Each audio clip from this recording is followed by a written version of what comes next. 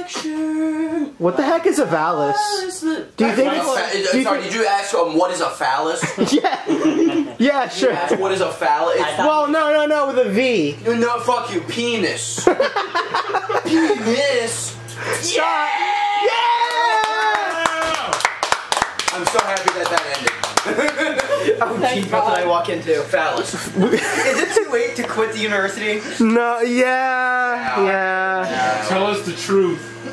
So I'm gonna blow all of your minds. I'm going to reveal the inner secrets of the universe. Whoa! You are going to know how to become God. Wait, are you s- Capital G, God. like the one? Wasn't wrong. Okay. Are, are you? I already know. I'm a little prepared. Like in general. Yes. Just spot. Okay. So, this is going to be a lecture on Valis. Now that begs the question, what the hell is Valis? And it's important I clarify here because there's a lot of confusion on the internet. Which is understandable because Valis is a book. Valis is also the name of the prequel to said book. Valis is three distinct trilogies, one of which doesn't actually exist. Oh. Valis is an intentionally underfunded multimedia corporation. Valis is a conspiracy, and Valis might literally be capital G God. What? So Valis is everything. Valis is all of those things. So when I say Valis, what in particular am I talking about? The lecture. All of it. I'm going to cover each one of those. And by the end of this lecture, you will understand the entire conspiracy. And by an hour in, you will know more than literally everybody on Reddit. So, the story starts with a man named Philip K. Dick. Now, Philip K. Dick let's go. is a sci-fi writer. Now, you might not know his books, but you definitely know the movie adaptations. He did the story for Blade Runner, Oh shit. Minority Report, Total Recall, Man in the High Castle, Scanner Darkly. Yes, Roland. So are you saying that Philip K. Dick wrote the Phallus trilogy? Just started, and I'm already, Roland Demerit. already done. Shit, I don't have my notebook. Okay, You're we'll start. not. My notebook that I keep the demerits in. So apart from that, you know, he was pretty normal for a sci-fi writer. His best friend was his sister, who died Oh. when she was a baby. Oh. Rip. uh, talked to her in his entire life. He thought the government was spying on him, and one day he came back home. The safe he wrote his stories in was blown up, and all of his notes were missing. It's fucked up. Wait, really? Yeah. y- This is a le- He's not lying to you. Oh, he was divorced five times, Oh. and in 1974 he met God. Ah. That's the incident. That this is the incident. This is where it Well, starts. what do you mean by he meant God, Professor? we will get into that Okay. by the end of this. By the end of the next 10 minutes, you will know. Holy fuck. Yay! To quickly explain this board, so blue means something that really happened or a document describing something that really happened. Okay. Red is works of fiction. Orange is a work of fiction within another work of fiction. oh my Now, it's god. important to clarify because all of these things will influence each other and intermingle, so it's important to keep your head in what is real and what isn't. So, starting out in 1974, Philip K. Dick is having a massive toothache. He just got his wisdom teeth extracted, and a woman comes to his place to deliver the pain medicine. She comes in, she's wearing the Christian fish sign necklace. The light reflects off of it, and then the pink light hits Philip K. Dick, and all of a sudden he starts having the seizure where all of this information is suddenly implanted into his brain. When he comes back to, he's able to speak all sorts of dead languages Greek, Roman, and he's never studied any of them. Next thing, he starts noticing that when he walks outside, he's no longer seeing Berkeley, California, where he lives. He's seeing um, first century Athens and Rome. Two things yeah. are just literally transposed on top of each other. Wait. What? Oh my god. Like Yes. as in, Is this? Did he do a lot of drugs before this? No. He is very clear that he has never touched drugs. Big thing with him. when Yes. you say transposed, does that mean that Athens and whatever the fuck California have fused together in No, that it like being? Or is, superimposed on top of. Yeah, superimposed on top of. But what does that mean? Like, So you walk outside and you see like the entire world of first century Athens, like it's another layer of film that's got the transparency down. So you see both at the same time. Like you know when you go into Oh, Photoshop and you t- put two photos on top of each Yes, other and ones that see. have Yeah. transparency. okay, I got you. Yeah. Next, he starts realizing that he's having the instincts and memories of another person. Oh. Um, all of a sudden, all of his uh, food tastes change, and he starts realizing that he's having the exact same preferences as his friend James Pike. James Pike is a bishop that we will get way further into. Yay! I like that. Next thing, the day he has his um, religious 1974 experience, all of his animals die. Wait, his pets? Both of his pets, dead. His Okay. cat and his dog are gone. oh shit! Wait, Ow. he just disappeared? No, their bodies were just found dead. Like- He's convinced that it's radiation poisoning from God, but as we Wait, how does that relate? I'm assuming it will, but Uh, uh, don't give too much credence to that yet. okay. And here's the part that really gets interesting. So, God contacts him one more time. One night he's sitting alone, the pink light envelops him, and he is told his baby kid, Christopher, has a terminal illness. This Uh-oh. weirdly specific illness. So he takes his kid to the doctor, and then tells the doctor what's in it, and he's exactly right. So all of a sudden, Philip K. Dick is shitting his pants. Remember, this guy is not quite mentally stable to begin with. But he's like actually like, is there actually poo in his pants, or was that an expression? That was an expression. Philip K. Dick, I would not be surprised. I don't know. This guy's seeing Athens in California at the same yeah, time. I would That's put insane. shitting his pants behind him. At what point in his career was this?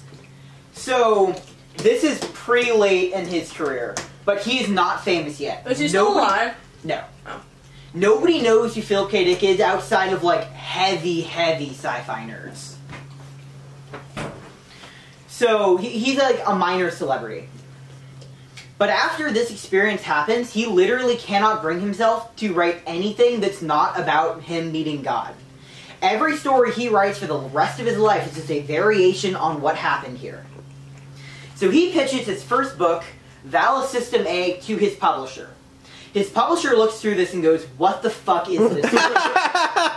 You're fucking losing it. No, we're not publishing this unless you change everything. Yes. Wait, so if he was unable to write anything else unless it related to Valis, does that mean like all his other works he's known for were inspired by Valis? All of his other works he's known for were before this. Oh, okay. Once this happened, he realized all of that was uninspired shit and is now writing about God. Okay, okay. Loser, you know, low budget sci fi stuff, not worthy of his greatness. Yeah. Alright. So, publisher says change everything. He says, you know, at that point, I'm just going to write another book. And so he writes Valis. 1981 is the first we hear about any of this. The rest of the time, he is just working on these two books. Now, this is weird because Philip K. Dick has notoriously been like a very prolific writer. He would write four novels in a year. So he disappears 1974. Oh. Nothing from him until 1981, and then it's on. So normally I'd start you off here, but this book is actually a direct prequel to Valis. So we are going to open with Valis System A, later republished in 1985 as Radio Free Albemuth. But we need to be careful with this version because it was published with the permission of the PKD estates. Boo! We will learn more about the PKD estate later on, but they are the big bad guy of this lecture. Oh boy. Uh oh. Bitches. So, Valis System A. We start in Berkeley, California. So, for those of you who don't know, Berkeley is like kind of where that uh, major university in California is. It was a major site for um, protests and civil change in the 60s, and this is when Philip Dick was kind of growing up and relevance. So, the Hulk is writing about how Berkeley is a shitty place to live. It's calling all like the college kids who live there like lazy, uninspired liberals. Uh oh. But he also hates like the conservative. He's just like these people just do nothing but go to college and talk endlessly about making change and then never do anything with their life. Like adults just keep going to classes even after they've graduated to be part of this university culture. And so he makes no mistakes in the first like few pages book that Berkeley is horrible. Our main character is named Nicholas Brady. Nicholas Brady was born in this town, and so after he graduated high school, he had no idea what he was going to do with his life. So he decided, "Fuck it, I'll go to Berkeley." Right? That's just what's near here. That's what people do. He had no money, so he got in through ROTC.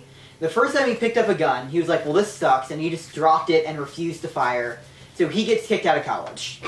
19, no prospects, living in Berkeley. He decides to work at a record store and just kind of bums out as an assistant manager for like 10, 12 years. His girlfriend is studying to be like a lawyer, and she's getting her second doctorate degree. So everyone kind of thinks she's going places, but Philip K. Dick keeps putting notes and saying, but fuck her. As you'll note, there's weird notes of misogyny through everything Philip K. Dick oh. writes.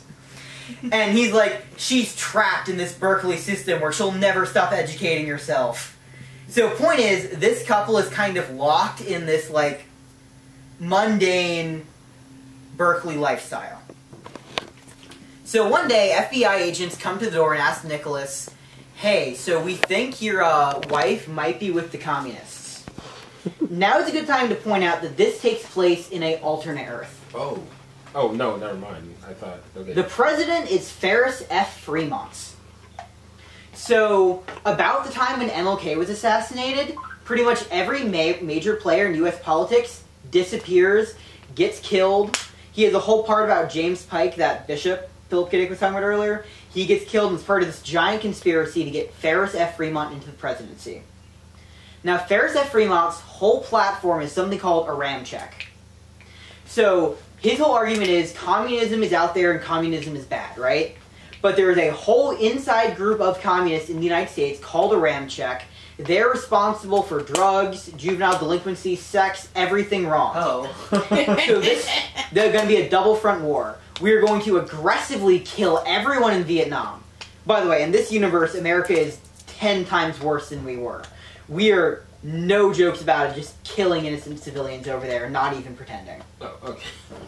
It, it, there, there's definitely some commentary going on. And at home, it is this oppressive regime where every night you have to watch the president speak and take a test. And if you do not pass it, you fail your citizenship attention thing, and you get taken away into a detention cell. Oh Ooh. Oh. How do you So- get out? Hmm? How do you get out of You, there? you, you don't. You're just there forever. You don't get like Oh, this isn't like this isn't like a prison. This is like a assassin. Yeah, Okay. you, you, uh, Death. You, you, you end up probably in a work camp, but people don't know where you go. How Okay. hard are the tests? Very easy. So you just have to watch it. You have to sit there and you have to watch it and you have to put in the like politically correct responses. What if you're like, what if you're like have a mental disability? This is the 1970s. Fuck you. Okay. I'm sorry. Could you say that right into the camera, please? This is the 1970s. Fuck you. Thank you. So, you're such a little actor. the FBI agents come to the door and he's like, we, we think your wife is involved in Aramchek. And he's like, fuck, that's bad, closes it on him and walks away. And so he's kind of suspecting his wife, but he's also like, am I against the communists? How about we just don't talk about it? That night, when Nicholas Brady's going to bed, he sees a hologram of himself. Look at him, touch him. The second his wife wakes up, the hologram disappears. So Nicholas is like, okay, well that's fucking weird. Especially since it's the same day the FBI agents come around. So he does the only thing he knows how. He calls his science fiction writer buddy, Philip K. Dick. Now here's where I'd like to mention. This got adapted into a movie in 2010, also from the PKD estate. And in the movie, Philip K. Dick is like this sex appeal badass. He Who's he walks in- played? I don't remember. Someone you've never heard of. This is not a well-known movie. But he walks in and everybody loves Philip K. Dick. Like women are falling over him. It's hilarious. Yes. Like, is is ah shoot? How big? I mean, not that, but like, what was the quality of this movie? Would you say? Horrible. All right, no more. I'm not gonna say penny for your thoughts, but so in the book, however, Philip K. Dick is a complete loser. Something you should know: in all of his books, Philip K. Dick's a miserable excuse for a human being. He just sits there and wallows, and I'm divorced and sad, and life is hard. Yes. What's is the movie really called? Valis movie? No, it's called Radio Free Albemuth. Okay. Okay, okay, yeah. Okay, that's okay. Got it. All of, so guy? many of these things are called Valis that I just gave them different names so that they're. Is that him? Oh boy. This is a this is a That's true. no, can you show the camera? He kind of looks like both. Tyler. He's like so tiny We'll put an image up. Don't worry. Okay. Well, we'll put an image up funny for him in, in costume for the actual lecture. okay. But yeah, so he calls up his friend Philip K. Dick, and Philip K. Dick at the time is writing Minority Report in, in the book, not in real life. In real life, he already wrote it, right? Yes. Okay. So Philip K. Dick says, "Well, it probably has to do with precogs, since that's what I'm writing about, and that this that makes sense." So then Philip K. Dick gives him this whole lecture about how like precogs are like this deep, meaningful thing, and you should be scared. And Nicholas is like, "Well, but what about this is precog?" And Philip K. Dick is just, "Shut up and listen to me. I'm talking." Yes. Quick explanation of what precog means. Someone who can see into the future. Oh, God. Cock. Yes. If you were seeing into your future. So. For the for the next while, Phil K. Dick and Nicholas just meet every day and talk to each other and come up with new theories about what this hologram could have been. Well, then all of a sudden, every single night, Nicholas starts dreaming and he goes to this pink light computer zone and it just starts teaching him shit. So he wakes up the next day and he knows new languages. He knows bits about ancient history. He knows things about engineering. He's like, I have no idea how or why I know this stuff. And so they're coming up with crazy shit. They think it might be him from an alternate universe giving him information. They decide that he's probably trying to give them information to take down Ferris F. Fremont because they're telling him about the inner workings of the government and how to make weapons and stuff. So they're like, okay, so clearly they want us to overthrow. We don't know why. Then one day, make sure I'm not missing anything. Oh yeah, he notices that he gets clearer dreams and learns more when the weather is clearer and when he's higher up. So they're, they're, they they can measure how effective these things are. So there's there's a physical thing going on. How effective the precogs are, or what? There's no precogs. Wait, but what? What is getting more clear? The dreams. Oh, okay. His dreams in which he's getting Valis beamed information are getting increasingly clear if it's clear weather and he's higher up. Okay. Then one day, when he like really focuses in, gets the perfect dream, he sees himself moving to Los Angeles, and he goes, "You know what? Fuck it. If the dream machine wants me to go to Los Angeles, I'll do it." So he goes to his wife and says, "Hey, remember when you were getting two doctorate degrees? Yeah, fuck you. We're moving." And this is phrased as a good thing because remember, and later on, the wife has this whole section about how like I gave up college for you and I have a kid, and that is the most complex female character you are going to see until here. Yay! Oh. Is this is this real life or a movie? What the incident you just described? That is the plot of the book. Okay. So is this sort of because I'm I'm see, I'm hearing some parallels like with the pink light like computer dream. So is this kind of a story about himself, but not? Yeah. Okay. Yes. And this is after he after the 1974 Yeah, incident. this is so- the first book he wrote immediately after the publisher said no, crushed his dream, which was this book, and then he settled and wrote this one instead, Okay. which is a sequel to this. So you don't know quite what's going on unless you've read this one. Have you? Yes. Wonderful. Where was it? How did you find it if it wasn't published? Um, this one was republished as this, and you can get easy annotated note copies from different things on Reddit that just tell you what's different, Okay. and then get this. This was not hard to get a hold of. So, they moved to Los Angeles. Um, Philip K. Dick leaves Berkeley too, because Berkeley is evil. They um, and Nicholas Brady ends up getting a job at a major record studio. So now he's in charge of signing on new artists. All right. So now, the FBI agents come back. And they go, all right, now that you're in this important position, we want you to start scanning for communists. Because communists oftentimes make good music and accidentally get on the airways and put on like subliminal messages. So, if you rat out any communists that come in, we'll give you like a thousand dollars per thing. So Nicholas obviously doesn't want to do this because he's going to be expected to rat out so many people, or they're going to like suspect him. But he's also like, if I say no to this, this is gonna look bad. And again, I'm working with aliens who want to take over the government, so I should play it as safe as possible. So he says yes. Philip K. Dick finds out about this and fucking flips out. He's like, I can't trust you anymore. You're gonna report me to the government for writing science fiction stories. And he screams and has a fit. That night, uh, two FAP agents come over to Philip K. Dick's house. What is a FAP agent? What? How does that spell how it's F A P. Jesus Christ! In this universe, FAP is a alternate government branch that starts for Friends of the American People. Oh Every time FAP agent show up in the book, Phil K. The character, laughs, ha ha ha, FAP, and they go, please stop doing that. Professor, Yes. we're never gonna get through these lectures if everyone laughs at the most mundane humor possible. No, but Welcome like the context I'm sorry you're dead inside and don't like penis jokes Roland. But we have we have Valis that sounds very phallic. Why is there so much penis Valid. We have? K Dick and now we have that Fat. Agent. We Now have I know why you So wait, it so so he so he as the author is aware of the the Yes, fat and his character is making fun of them for it, and they're like, please stop. Okay, okay. We're serious government agents. So the two people who come by the door, they're like, It could have been FA. like young, upstanding people. It's one young man and one young woman, and they say, "We've recently come in contact with your friend Nicholas Brady. He seems interesting. We want you to write a report on him, just to say if there's anything suspicious." So Philip K. Like, "Shit, they're onto us," and he freaks out. So in his infinite wisdom, he's starting to think like, "How can I get out of this?" Right?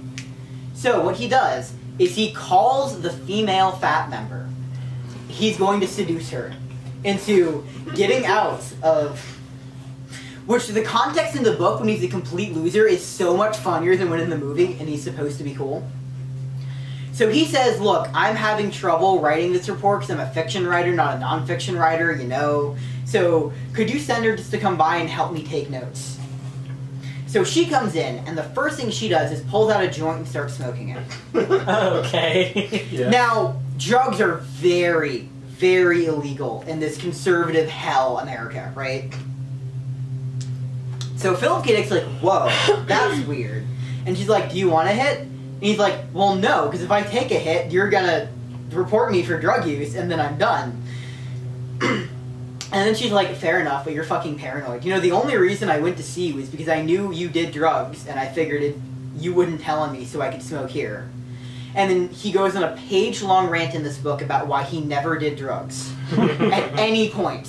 Just because he writes about meth heads and psychedelics does not mean I'm a drug addict. Please stop telling me that I do drugs. And it's weirdly like personal. so we get through this rant, and then he seduces her, right? And right before they're about to fuck, she mentions that she's in high school. Just Uh This oh. has happened to you before. So he's like, shit, you're 17? They almost caught me for fucking a minor. And so he starts panicking, right? But oh then Oh my God. he finds her wallet and her ID says she's 23. And he's like, wait a second, I could have fucked you. And she says, haha, and then leaves. God. Oh, God. Fucking loser. Oh, wait, I forgot, I forgot. So at first he's trying to like seduce her so that like he doesn't have to report on his friend, right? Halfway through this completely flips and she's just seducing him and he flat out tells her everything. Very cool. He's like, by the way, my friend talks to God and he's Ah. this." This is still a book, right? Mhm. Okay. we, we will get to the stuff that's not a book. no, it, okay. It's just hard to distinguish. So where are we right now on the map? Here? Right okay. there. We're on Valis System A. Gotcha, gotcha. Everything Okay. read is fiction.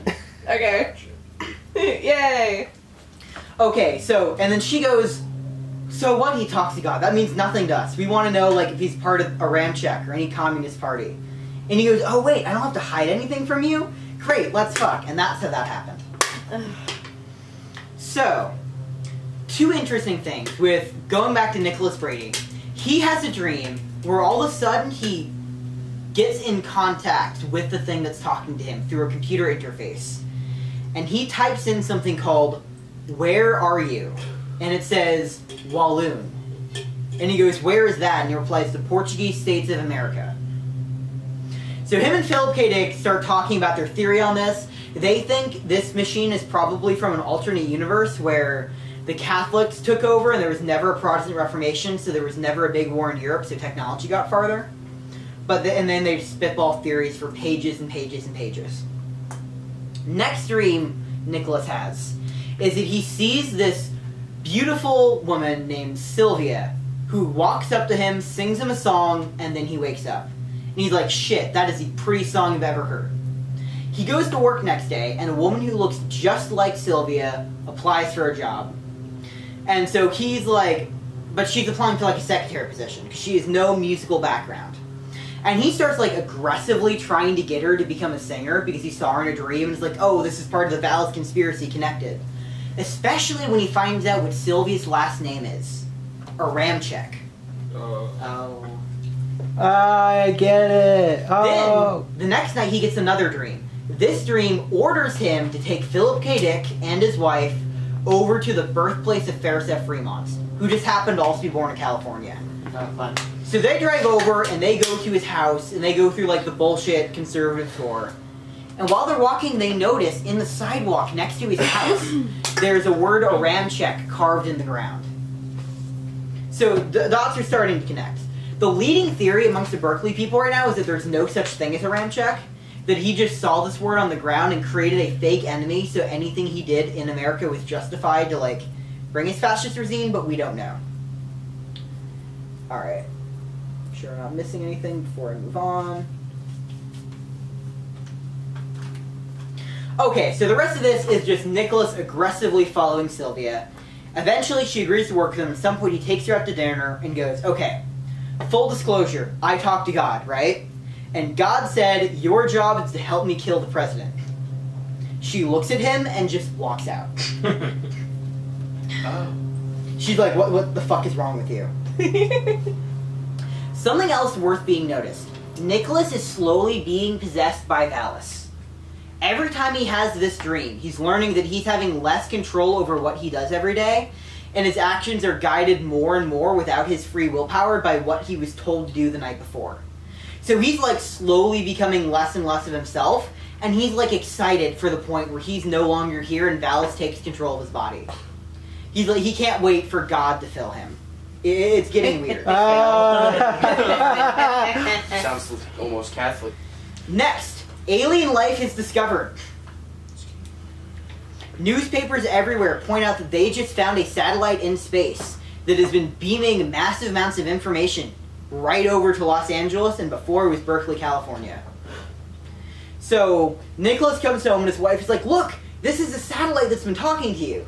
This entire time, the wife character has been convinced that none of this is real. And Nicholas and Philip K. Dick have just been, you know, fuck you, you're stupid, why don't you believe in aliens, you dumb bitch. That's just kind of been the attitude. So all of a sudden, she goes, hey guys, do you think that satellite might be the thing causing it? And Philip K. Dick looks at her and says, no, we thought it was a th- satellite earlier. We moved past that theory. And they go back and keep talking about the alternate universe Portugal. what? We were talking about that before? Yeah, Is Portugal Yes, U.S. territory? Portugal states no, in America. Portugal is right below Spain. Silly boy. oh, So why did I thought you said earlier it was something? Okay, never mind. So, anyways, eventually Nicholas just accepts that his wife is right and that this satellite probably is the thing being him information. Right when this happens, the U.S. government sends a nuclear missile and blows it up. Oh. They don't say why. Satellite gone. Now, in the book, um, Nicholas is heartbroken because now he's like, fuck, I'm never gonna take down the president. Everything's horrible. This is scary. In the movie, there's a very important difference. Nicholas here is afraid because he realizes that um, he felt special talking to Valis, and that was the thing that like made him better than everyone else. And even if Valis wasn't real, he needed to believe that it was because that was part of him. And that's a reflection that we're not going to see with Philip K. Dick. So the fact that that distinction happened is important. Take note. Moving on, now that the sh- uh, thing is blown up, uh, Sylvia randomly pulls uh, Nick aside and says, "Okay, sorry I couldn't talk earlier. People were listening." I'm from Aramchek. And he's like, well, no shit. And uh, she explains that last name. Aramchek's entire deal is that they are in contact with an alien life form that's going to come and stop. All right, so a Ramcheck. Uh, okay, so there is an alien intelligence out there somewhere, alternate universe, and it has discovered that the universe they're in right now is the worst universe of all of them. there is nothing worse than this. We're in the worst possible timeline. This is- This, this is some community type stuff. I'm loving it. Okay. And so this machine is just sending information over to help them out. And it's going to take profits, take over them, start this revolution, get rid of Ferris F. Ramos. And he's like, okay, this is good. So what's the plan? And she says, well, it's going to take them a thousand and two hundred years to send over another satellite. So that plan's gone. Our only hope now is to put a secret message in the music to awaken the evil in everyone, and then all of a sudden they'll wake up, realize what's going on, and get rid of Ferris F. Ramos. And he's like, okay, so we need to put a undercover musician. They write a song and they get a band to play it, right? And they're just gonna sneak it onto the airwaves. Right when he records, a woman walks into Nick's office. The same woman from FAP that PKD was dealing with earlier. And she goes, hey, so you know how sometimes people like to put secret messages in music? Yeah, don't do that. Or things will go poorly for you. And Nick's thinking, well, God's on my side. What possibly could go wrong, right? And he accidentally slips up and says it. And then she goes, oh, you think you're talking to God? Really? Okay, well, let's look at this. There is an alien that is slowly taking you over. And the alien wants to do this to other people. This is called an alien invasion. And you think this is a bad thing? Which, by the way, up until this point, we had no idea that she believed that he talked to God or any of this. So all of a sudden, he's scared shitless. And she goes, okay, by the way, if I come back and there's a secret messages on this tape, I will kill all of you. She walks out. So, um, they put a secret message on the tape. Got him. And so she comes back to steal it, but they switched out the disc, so she gets the one without the secret message on it. But it turns out none of that matters, because they've been bugging all of these people the entire time. Oh my god. So they release, they try to release a secret message, it gets stopped. They pull Philip K. Dick, Sylvia, and Nicholas all into a room and go, okay. They pull out a gun and shoot Nicholas. Nicholas is dead. Now they kill Sylvia. Sylvia's dead. And they look at Philip K. Dick and go, alright. So you never technically betrayed us, you just were in association with them, so here's your deal. You're gonna spend the rest of your life as a slave, but you're too public of a figure to like disappear, so we're gonna write the rest of your books for you.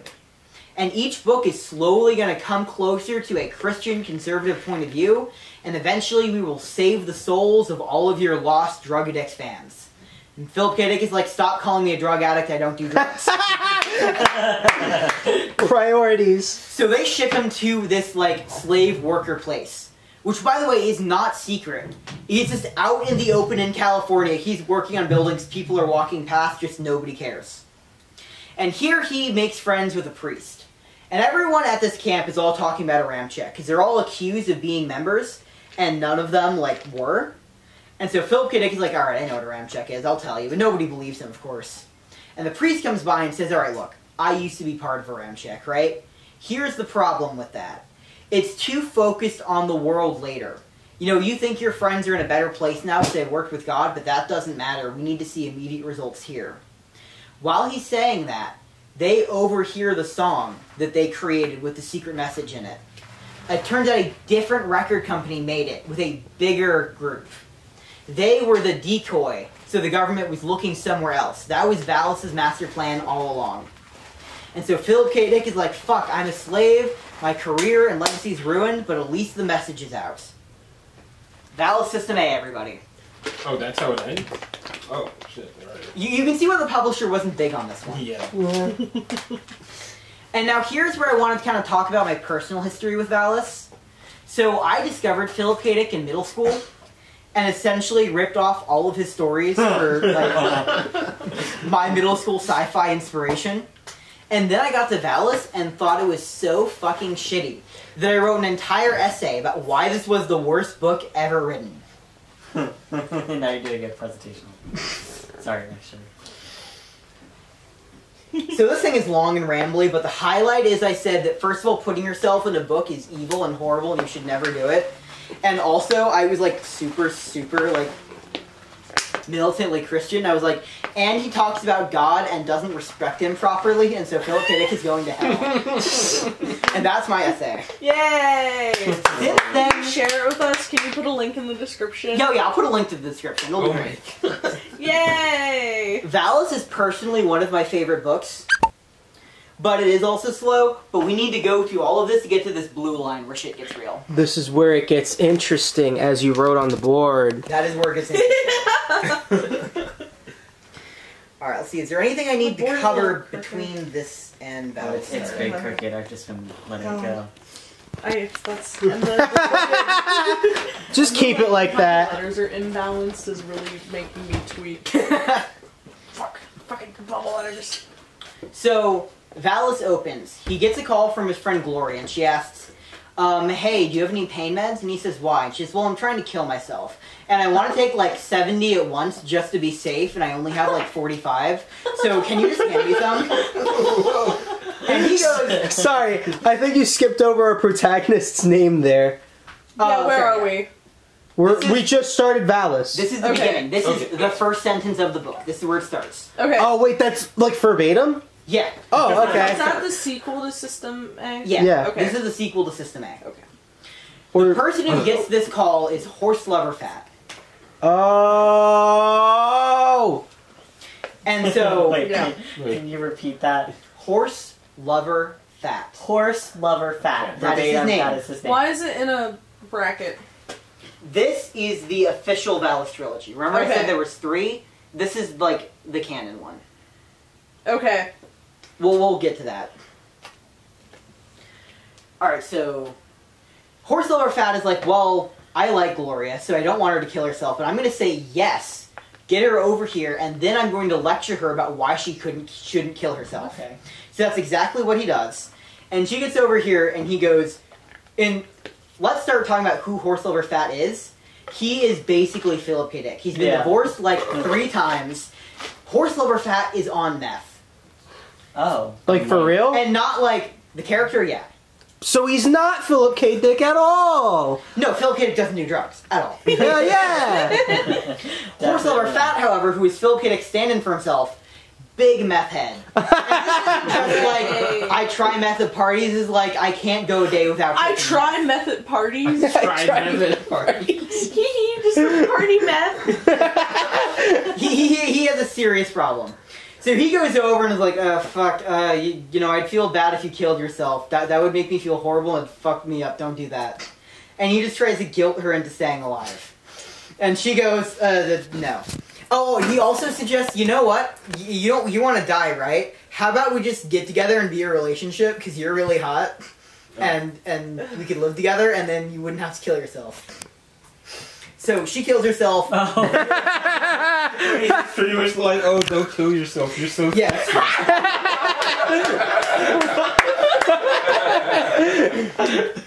so we cut to Horse Lover Fat crying about this with his friends. Horse lover fat.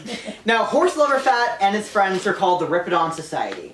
All of them are unemployed, have no life, they pretty much do nothing but sit in coffee shops and talk about philosophy all day. This is based off of Philip K. Dick's real friend group. Oh my god. And he paints none of these people well. He's intentionally calling these people out. well, he doesn't paint himself very well. no, he, he doesn't paint himself well. So, one second. The first person is Kevin. Kevin is a cynical asshole, believes everything is horrible, and his big thing is God is an asshole and I hate him. No, God isn't. God doesn't exist and I hate him. That's his big thing. So he's constantly arguing against God because if God was real, he can't exist. And his big argument is, I had a cat, right? I loved my cat. My cat was the only thing that mattered to me. And then one day the cat wandered into a street and got hit by a car. Why the fuck would God do that? Fuck God. Didn't Philip K. Dick's cat die too? Yes. Yeah. From God. Yeah, yeah. Mm-hmm. So every time they try to talk about anything, Kevin will just randomly barge in and go, What about my cat? Everyone hates him. Fuck So David is a ridiculously stringent Catholic and will always be trying to convert you to Catholicism, and everybody hates him. Yes. Oh, I was. Okay. That wasn't really my hand. Sherry. Now this is a female character, so get ready for this. Oh Uh, boy. she is also Christian, except she's not smart enough to really understand everything Christianity is about. oh. She just wants to fuck her pastor. And because she wants to fuck her pastor, she's like weirdly fallen into the how deep this religion thing can go. She's also dying from cancer. Oh, That- jeez. Woo! So in two months, she's gonna die. Does she get some before she dies? Hmm? Does she get some before she dies? Not from the priest. Damn. So she's about That's to die. so sad. I know, I Then she loses her. her house. Oh my god. Oh, the Oh priest God. is uh, horrible because he's like, she's really involved in the church and he wants to keep her around, so he never like flat out rejects her and talks to her. He just kind of like Oh. leads her on. Okay. And everybody's telling Sherry that like, this priest is no good for you. You need to like get away. Can't priests not do that? Yeah, they're not supposed to. Also, Sherry is so into this priest that she just curses everybody out for not being as moral as him. Oh. So she's really angry and bitter. But part of that is again, she's gonna die in two months. She's in constant pain. Things aren't going well for her. This is just what she's doing with her time left on Earth. Yes. She's volunteering at things, yelling at people for not being as moral as a priest, and then being like, "Priest, will you fuck me, please?" Philip K. Dick is not great at writing women. We So, we know. I, I want to put that out there. So she loses her house. Things are bad, and so she moves in with Horse Lover Fat. hmm. Why does he name that? I can't get. We'll get to that. Okay. Wait, who moves in again? Was it the the Catholic girl? Cancer, cancer girl. Okay, yeah. cancer girl. Got we it. can call her Catholic girl. Or Sherry. How old is Sherry. Sherry. All That's of these monster. people are in their like mid thirties, mid forties. And who is this based off in real life and how accurate is it? Like, did he have a friend that had cancer? Yes, we don't know how accurate all of this is. Okay. Philip K. Dick and some people say this is all completely accurate. These people say not accurate at all. Okay. Truth is probably somewhere in the middle. Okay. So, another thing, horse lover. Oh, the most important person in front of I forgot to mention. Philip K. Dick, the sci-fi writer. Oh, Uh, Yay! How could we forget? So all of them have accepted at this point that um, horse lover fat has met God. This happened seven years ago. Yeah. is this like the same Philip K. Dick from the end of Valis System One? No. It's a Oh. different Philip K. Dick. Oh, so is this the same timeline or no? No. Uh oh. Then how, This is a- this is- how is this a sequel? We'll get to that. This is a timeline where you name your child Horse Lover Fat. Okay. Or Horse Lover Fat. so somehow we're. Not, thankfully, we're not in the worst timeline as we've established before. This is not the worst timeline. so so this is slightly better at the very least. yeah! Hell yeah! We rolled a two essentially. yeah. So everyone is kind of tired of Philip K. Dick talking about. By the way, seven years or not Philip K. Dick, horse lover fat is always talking about seven years ago. Did you know I met God? And he's pink, and they're like, yes. Shut the fuck up. I think you're starting to get sense all of these people hate each other. But they talk and hang out and talk about religion for pages, anyways. Another thing, Horse Fat is writing something called the Exegesis. So every night, Horse Fat comes home, and he's like, My friends won't listen to me, so I'll write my own information about God. and he starts pouring out all of these theories about how Valis, which in this he's calling Zebra, have no idea why. Zebra is like a future evolved human, maybe, who's talking back through time to try to guide him. He has no idea what's going on. It turns out this exegesis is real. Now, we always heard about it from here, but when we went through Philip K. Stuff after he died, we found tens of thousands of pages where he just scribbled stuff about his religious experience. Apparently, he would write hundreds of pages a night. I was able to get a copy of a thousand pages of this document.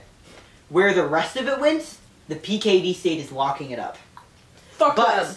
from the 1,000 pages I saw, I was able to get some very interesting insight into what Philip K. Dick was doing. And we will give what really happened as this goes on. Alright. So, he moves in with Sherry Silver. Sherry takes out all of her anger on Horse Lover Fat. Mhm. She just tells him, You're a piece of shit, you're doing nothing with your life, you should be more like my priest every day. At the same time, Somehow, Horselover's fat ex-wife calls up, says stuff about their kid, and makes him so depressed that he has no choice but to go kill himself. It is completely his ex-wife's fault. Fuck her. Women are evil.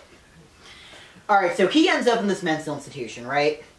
And he's thinking, I need to be very careful to not talk about God here, or I'm never leaving. So this entire time he's like, don't talk about God, don't talk about God. The first psychiatrist he meets, within two pages, he's like, by the way, did you know I met God? and then he starts saying, I have this exegesis too, thousands of pages of detailed notes to save all of humanity. And the psychiatrist goes, you too? So they both sit down. This psychiatrist has not been talking to God, but he's obsessed with Eastern philosophy and this guy called Lao Tzu. Phil, or uh, Horse Lover Fat is obsessed with Gnostic mythology. Now, do any of you know what uh, Gnosticism is? Yeah. All right. Uh, There's wanna- just like you an wanna give it an iffy. No. Okay. Isn't it like mysticism, like medieval myst- magic type? Earlier shit? than medieval. Oh, it's like like magic, like um fucking rising sun. So, Christianity happens, and um, a new monotheistic religion in the world, right? But Christianity's still really underground. Romans are hunting them. Christianity spreads down farther south in kind of like the Middle East, and that's where Zoroastrianism still has a hold. Kind of that. Uh, that's a uh, monotheistic religion that really believes in like. Yeah, I don't think Zoroastrianism is monotheistic. It is. Okay, then I don't know much about it. Mercury All right. Maybe I don't know a lot about Freddie Am Mercury. stupid? Hang on, I thought. And essentially, Gnostics combined Christian imagery with a lot of pagan beliefs, and were like, Jesus was misunderstood, and he's a pagan prophet. Despite the fact that they're monotheistic and believe in one, it's weird. It was. I'm a genius. You are a genius, Mikayla. All right. Okay, so over the course of like the last minute, I have called Gnosticism a early offshoot of Christianity. I've called it a pagan religion. I've called it a kind of advanced stage Zoroastrianism, which kind of makes my explanation the most confusing one on the internet. So I'm just gonna try again here. So, first of all, Gnosticism is not a centralized religion. It's kind of a word that was invented by Christians to describe a group of people they wanted to separate themselves from. But Gnosticism itself is full of various people's various beliefs. But it is all kind of uh, centered in this kind of Middle Eastern area. Um, it is essentially combining a lot of early Christian tenets with Neoplatonism. Neoplatonism, oh boy. Okay. Neoplatonism, in essence, is a philosophical idea saying that you need to come closer to the spiritual truth by self discipline and study. It's kind of a more stoic version of Buddhism. And this combined with Christianity, and so it's all about like secret knowledge and waking yourself up and kind of being your true spiritual self it's weird and iffy because again gnosticism is not one thing but the concept of neoplatonism and christianity combining and it often plays with zoroastrianism symbols just because it's in kind of that same region. And philip k. Dick played with a lot of the symbology that came out of the secret texts like the gospel of thomas that that kind of culture religion wrote I hope that clarifies things. It's really hard to clarify Gnosticism because most of what they wrote is lost, and they were all about secret knowledge, so that makes things complicated. But yeah, that's kind of what we think their deal is. But at a certain point, it doesn't matter what their deal is for context of this lecture. We just need to know what Philip K. Dick thought their deal was, and who the fuck knows what Philip K. Dick was thinking. So, yeah. All right, enjoy the lecture. All right. So they compare notes on their different philosophies, and then uh, the doctor decides to release Phil or Horse Lover Fat. Horse Lover Fat at the end is asks like, so now that we've talked, do you like get the meaning of life? Did this help at all? And the doctor turns to him and says, I don't know. You're the expert. And all of a sudden, he like feels so much better. All of his depression and wanting to kill himself is gone. That is the one phrase that could heal his heart. So, after that, he gets another message from Valis for the first time in seven years. Valis says, The Savior is born. I'm coming, I'm being born as a child, find me. So Horse Lover Fat goes, Alright, well, China has the most people in it, so I'm just gonna Um, fly there. I don't have a question. I'm just. So he announces this to his friend group in the morning, and they go, Why are you flying to China? This is a horrible idea. And Philip K. Dick pulls Horse Lover Fat aside personally and is like, Alright, just give it three days. If God doesn't contact you by then and tell you something else, I'll let you go to China. Just stay here. While this is happening, all of a sudden their friend Kevin, the cynical asshole with the cat guy, he finds this movie that is in very inspired by The Wall. It's like this film's version of it, and says this is an experimental sci-fi film and it changed my life. You all need to see it. Please watch this movie. Watch it. He's Roland. Hey, Professor. Yes. Could you play Omori, please? Demerit. Second one. All right. This movie is called Valis. Okay. They go. Uh, Philip K. Dick goes because he's like, well, I'm a science fiction writer. I should probably go see this crap. And um, Horse Lover Fat's like, well, maybe this is God sending me a sign, so I'll go. And then Kevin is just trying not to talk about the movie without spoiling it the entire car ride there, and it's really awkward. They get there. This movie is the plot of this book. It all takes place in like weird artsy visuals, and he sits there for pages and describes cut by cut what this film is. But it is the plot of this book. And afterward, yes, Does this film exist? No. Could you make it? No. If it's violently described, I, I could. I'm not going to. you should. That'd be funny. That would be funny. This is the closest we're gonna get to a Valis movie.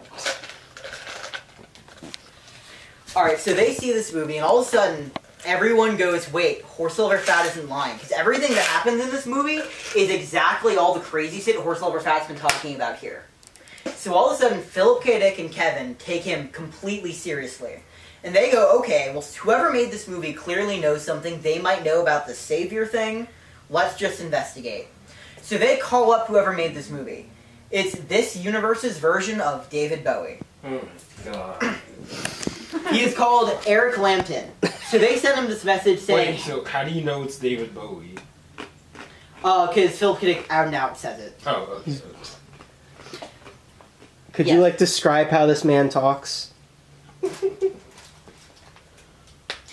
Um, in the audiobook, someone does a horrible David Bowie impression.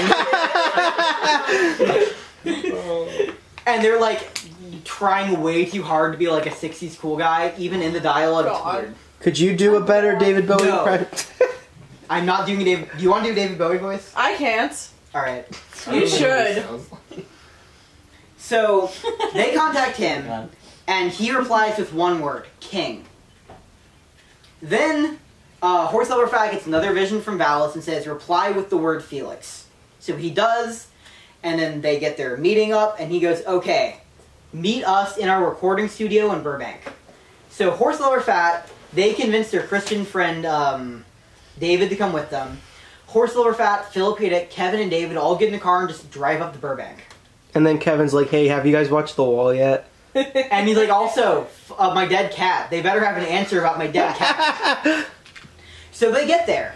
Turns out, David Bowie's a three-eyed alien. Oh, Oh. That's pretty dope. that's accurate. Wait, real David Bowie, or I mean, is there a real David Bowie in the book, or are you talking about the Eric David Bowie? Clapton. Okay. Yes. Has David Bowie like like reacted to this at all? No. From what? No. Probably for the best. So they get there. David Bowie, who I'm just going to call David Bowie for the rest of this. Yeah, that's fair. His wife and his composer, they are all three-eyed aliens. It turns out what's been going on is that they were the ones who created humanity and created the Earth. Oh, They also created time. Oh. They created this because without time and people, the universe is kind of boring. They just made it to be fun. But they always, this was always supposed to be a vacation. They were supposed to leave. Side effect of being here is it makes you go insane. Okay. Uh, you just, it, existence is inherently a lack of rationality, which is a Gnostic theory that Philip. Dick stole from these ancient texts. So, what Valis is, is a computer that their species sent to come over here and rescue them, and it sends beams of rationality into your head. So you inherently just can't think logically. What you think is logically is just not off the mark. This thing allows you to think clearly for the first time in your life. Problem is, it uses a lot of um, radioactive material, so you can only be hit with this beam every once in a while. Otherwise, you're screwed. Most people, it can only be once in a lifetime. Horse Lover Fat is just kind of lucky. Um, Mini, who is their composer, he got hit by it once, and now he's in a wheelchair and can't move. He can speak, and that's about it. So th- this Valis thing is not great. Which, by the way, this is when they finally stop calling it Zebra and just admit that it's Valis, the thing that Philip K. Dick's been talking about his entire life. So they go. By the way, did you know that the Savior is born and it's our daughter? And they're like, really? Yeah. I would say, oh yeah, we have a two-year-old girl. She's just in the farm, hanging out with the animals. Do you want to go talk to God? And they go, yes. So they walk over, and this two-year-old just sits up and goes, hey, what's going on? In like perfect English. they ask this two-year-old every like complicated theological question they can come up with, and she spits back an answer. She has an answer for Kevin's cat. Whoa! It's the answer we've been waiting for. Why did Kevin's cat die? What's Because your the cat was stupid. Because the cat was stupid. Are you serious? Yes. I was gonna say gay. Kevin throws a fucking fit. yeah. Oh, They blame And- the cat. Horse Lover Fat asks, uh, did my friend you killed herself? Is she in a better place? And the child replies, no, she killed herself. When you die, you are gone. Don't kill yourself. And then she looks and says, Horse Lover Fat, or she looks at Philip K. Dick and she says, didn't you try to kill yourself? And he was like, no, that was Horse Lover Fat. And then the Truer looks at Horse Lover Fat, snaps her fingers, Horse Lover Fat is gone. What? He's out of existence. Oh my god. Turns out, Wasn't he the main protagonist of this? there never was a Horse Lover Fat. It's horse lover skinny, more like it. It's the Fight Club twist. Philip K. Dick and Horse Lover Fat have been the How same he person the entire time. Of course. Whoa! Wait, what? Wait, say it again? Philip K. Dick is Horse Lover Fat. Didn't we? Why?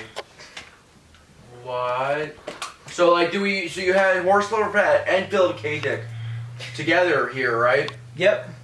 And then Horse Lover Fat is gone, but they were the same person the whole time. So Horse Lover Fat disappears all of a sudden. Um, Philip K. Dick wakes up as himself. No memory of Horse Lover Fat, and everyone's like, "Oh yeah, he's been a hallucination. You didn't realize?" Yeah. So, like, no one saw them in the same room at the same time? This entire thing has been from Horse Lover Fat's perspective. But he Uh, was not. He was a hallucination? Or Well, here's here's the weird thing. Horse Lover Fat and Philip K. Dick have been leading separate lives and doing separate things throughout the book. They never explain how both of these things happen, and it's gonna get weirder. Oh. Okay. Okay. Is everyone clear moving forward? Yes. No, As but go clear as I on. possibly can be. Next thing, they ask these, uh, they ask the, uh, the two-year-old goddaughter, so what's the deal with these three aliens? And she goes, oh, they're horribly violent, insane creatures that are going to kill you. The only reason they haven't ripped you apart and eaten you already is because I've been stopping them. But I'm starting to feel kind of sleepy, so maybe you should leave before that happens. she also tells them the meaning to life. Oh, shoot. Is, do we learn this? Are we about to learn this? It's, it, it, it's Is it- underwhelming. the real meanings are coming later. Never mind. oh. Go ahead. Forty-two. No, it's No. Is it um. regarding fish and, and weapons? Oh, I forgot the stupid fish thing. Okay. So, before they even met these people, they were having their own crisis of faith, and God came real quick and gave him a dream with fish and guns. And Horse Lover Fat woke up and said, Fish cannot carry guns. And apparently, they go on and say this is the one true word of God that has helped them throughout their journey. They never explain what it means and how it means it. This shirt says fish cannot carry guns, but I got destroyed in my washer at Towson. That that's that's that. Yay.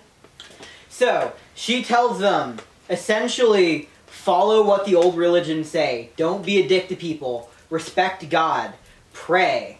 And the time is coming when man needs no gods for themselves. Now go out and preach this evangel. Not right in my hand. Okay. So they run the fuck out before these three-eyed aliens eat them and kill them. So while this happens, it turns out Mini, the guy who had talked to Valis earlier and is now in a wheelchair, he was so desperate to get another beam of rationality that he drove a construction truck towards the two-year-old and was like, "Give me sentience again." And the two-year-old was like, "No," and now the two-year-old got ran over and is killed. They killed God. Oh, Wait, That's it. I th- wait. The two-year-old was not Valis. Valis is the computer, right? The two-year-old is the computer which everyone refers to as God, born incarnate. So the two-year-old is incarnate rationality, and they're worshiping the concept of rationality as God. But what what what's the computer? Alien star system, same thing. Okay, Following as good as you're gonna get. maybe. Uh, yes. Yeah. Yeah. Mm. This is not the most important or only Valis lore you're gonna hear on that subject, so I'm staying light on it. Okay. So the second uh, god dies, Horse Lover Fat pops back into existence. And he was like, fuck, that sucked. I wanted to ask God more questions. And they were like, well, too bad. So Horse Lover Fat suddenly leaves and goes to Greece, and he's gonna keep searching for the Savior. Is he a hallucination? Yes. Okay. So Phil Philip K. Dick does not leave and go to Greece. Are you good? Are you still planning to get to the reason why he's called horse lover fat, or does that Yeah, I'll. I'll get to that. Okay. Uh, did I, if he's a hallucination, is the reason he's back now because uh, Valis has been the two-year-old has been destroyed? Yes. Okay. So that is why Horse Lover Fat's back, and then he goes and explore, and Philip K. Dick sits there and writes this book, and it ends with him saying, "And this was me keeping my promise to God. I'm writing this book to all of you." So Horse Lover Fat is a anagram of Philip K. Dick, because Philip means horse in Greek, and uh, Dick is lover, and fat is just a dick joke. Horse Lover Fat. just a dick joke. Wait, say it again. What does? Isn't Philip usually a goat?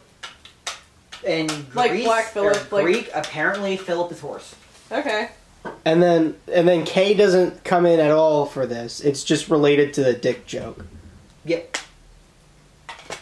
All right. So, one of the uh, really fun things about this Yeah. book, the entire time, the big theme of the book is that everything is okay. Everything was okay. Uh, David Bowie keeps pointing out that the time of calamity was in this film, and this film, Ferris F. Fremont, they say is a stand-in for Nixon. The reason Watergate happened, according to Philip K. Dick, was Valis. So everything in this was just a coded story of the real story of Nixon. Now that Nixon is gone and the age of trouble is over, we're in the land where everything is okay. Which is convoluted as it sounds, it's this really nice message throughout the book. Where like it's just things are gone and people learning to cope with their own difficulties, and it's cool. Alright.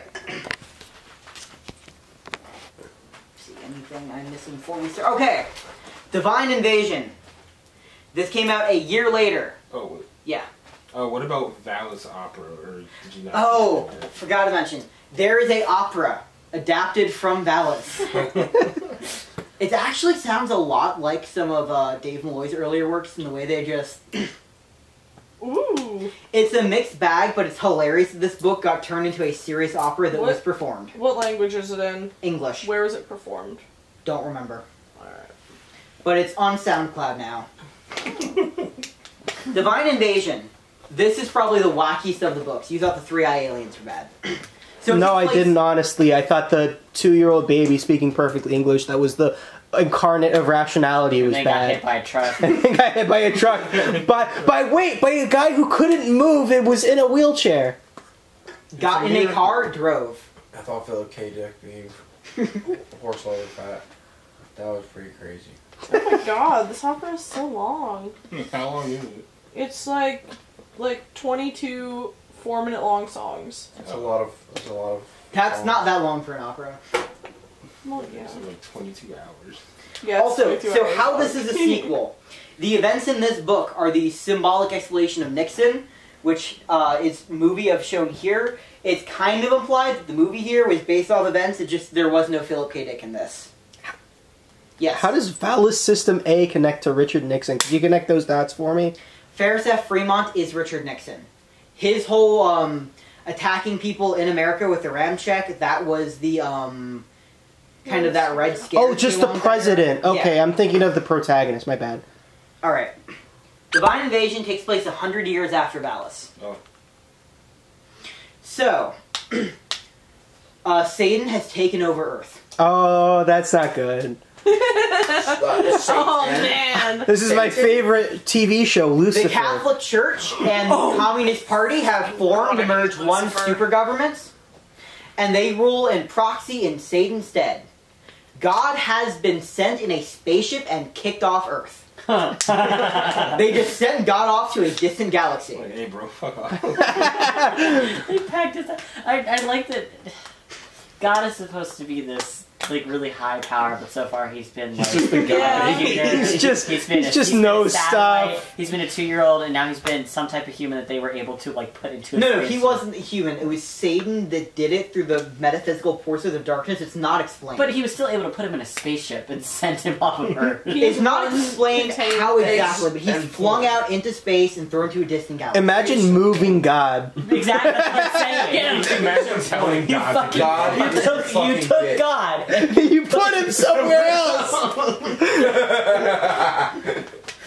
Okay, so we are now following the story of Herb Asher. He lives in a solitary pod way out in the outer reaches of space. His job is to take signals from Earth and then relay them to other local colonists. Specifically, he's supposed to take the concerts of the superstar called Linda Fox. So all he does his whole day is watch Linda Fox concerts, turn the data, and then go to sleep. And he is religiously obsessed with Linda Fox. He like does nothing but want to marry her, look at posters of her all day. That's like his religion. He has one neighbor. She lives in a distant pod. It's like a two-hour shuttle ride, and she is sick and dying. She is dying from cancer. She'll be dead in about a month. Oh god. She's like, "Can I please come see you?" And he's like, "You're not Linda Fox." No. So then he starts noticing that he's having some like uh, technical difficulties with his equipment. So he calls in one of the local alien repairmen, and the repairman looks at it, uh, touches some dials, and goes, "Oh, that's probably God." He's like, "What?" He's like, "Oh yeah, uh, God lives on this mountain." And so he's like, okay, get the fuck out of here, you stupid alien. then, the control panel lights on fire, and a voice talks to him through the fire and says, Talk to your neighbor with cancer, stop being an asshole. Wait, so it's just the burning bush, but it's just Yes. and so he says, fuck you, God. And then God starts melting all of his um, Linda Fox CDs and posters. yeah. Fuck you, God. You're not Linda Fox. so he starts frantically putting out, but it's all gone. And he's like, "You destroyed it," and God's like, "I, I can put it back. Just talk to the cancer woman." It's like, "But I don't want to." And so finally, he does. And he goes over, and she's about to kill herself. oh my god. And she's like, "Well, I guess you came over, so now I'm not." And they just sit there and um, they talk and they watch um, this soap opera together. Um, and through this, her realizes, wow, I really have been a dick all these years to this person. I feel really bad about this. And has his, like, big human transformation moments. Meanwhile, they hear a knock outside on their door from space. And they're like, shit, it could be space pirates, they don't know. They open up the door, and it is the star of the soap opera they were watching. And he just walks in. Turns out, the star of the soap opera is also Elijah. Elijah from the Bible. Oh. Oh. Oh, Okay. he's still here. Yeah, you remember when uh, God like beams him up, so he would go to heaven and never die? Sure, yeah. Heaven. Yeah. Uh, apparently, he just got immortal life, Oh. and now he's running around and just helping God. And he goes to um Sherry and he's like, so or not Sherry. Cancer. Wrong, Can't- wrong woman with cancer. She has a weird sci-fi name. It's like Rymus in this. R H Y M Y S. Yeah. Rhymers. Rymus. Okay. There's some is that not fake. a weird sci-fi name? That's a weird sci-fi name. I just want to point out that the only vowel in her name is Y. Okay. yeah, that's true. Yeah.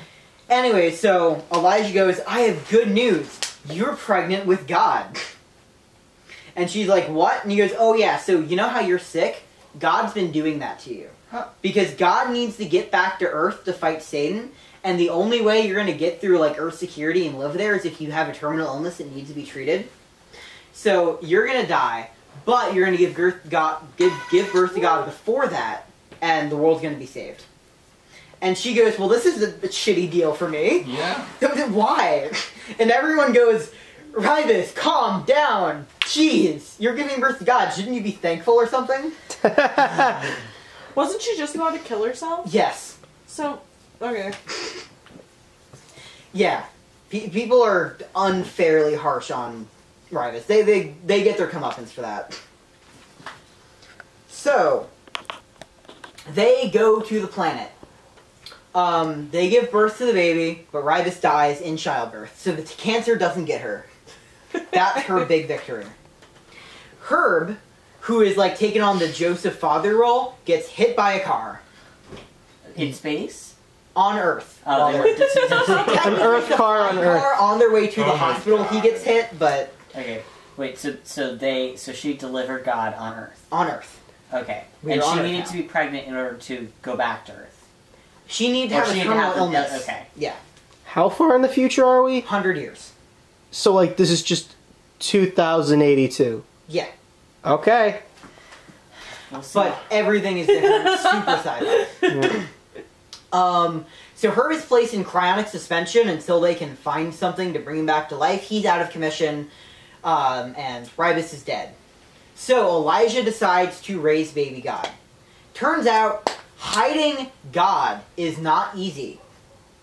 God is constantly walking around as a kid and like pointing stuff out and saying stuff. They take him to church one day, and he walks up to the pastor and goes, "This communion is not valid. God is not in this uh, wine and bread," and then walks off.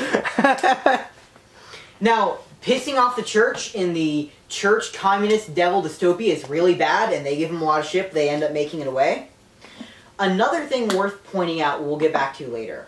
So the head priest is having an affair with his secretary, right? and he sits there talking about evil, about how, aha, I'm a priest, but I'm also in a relationship. Look at me being evil. Also, there is an alien life form on this planet. So he prays to God. The thing he prays to is a computer. It is a computer built between the church and communist party that is supposed to come up with everything, and they've used that to replace God. And the thing starts helping him find the baby. They try to track him down.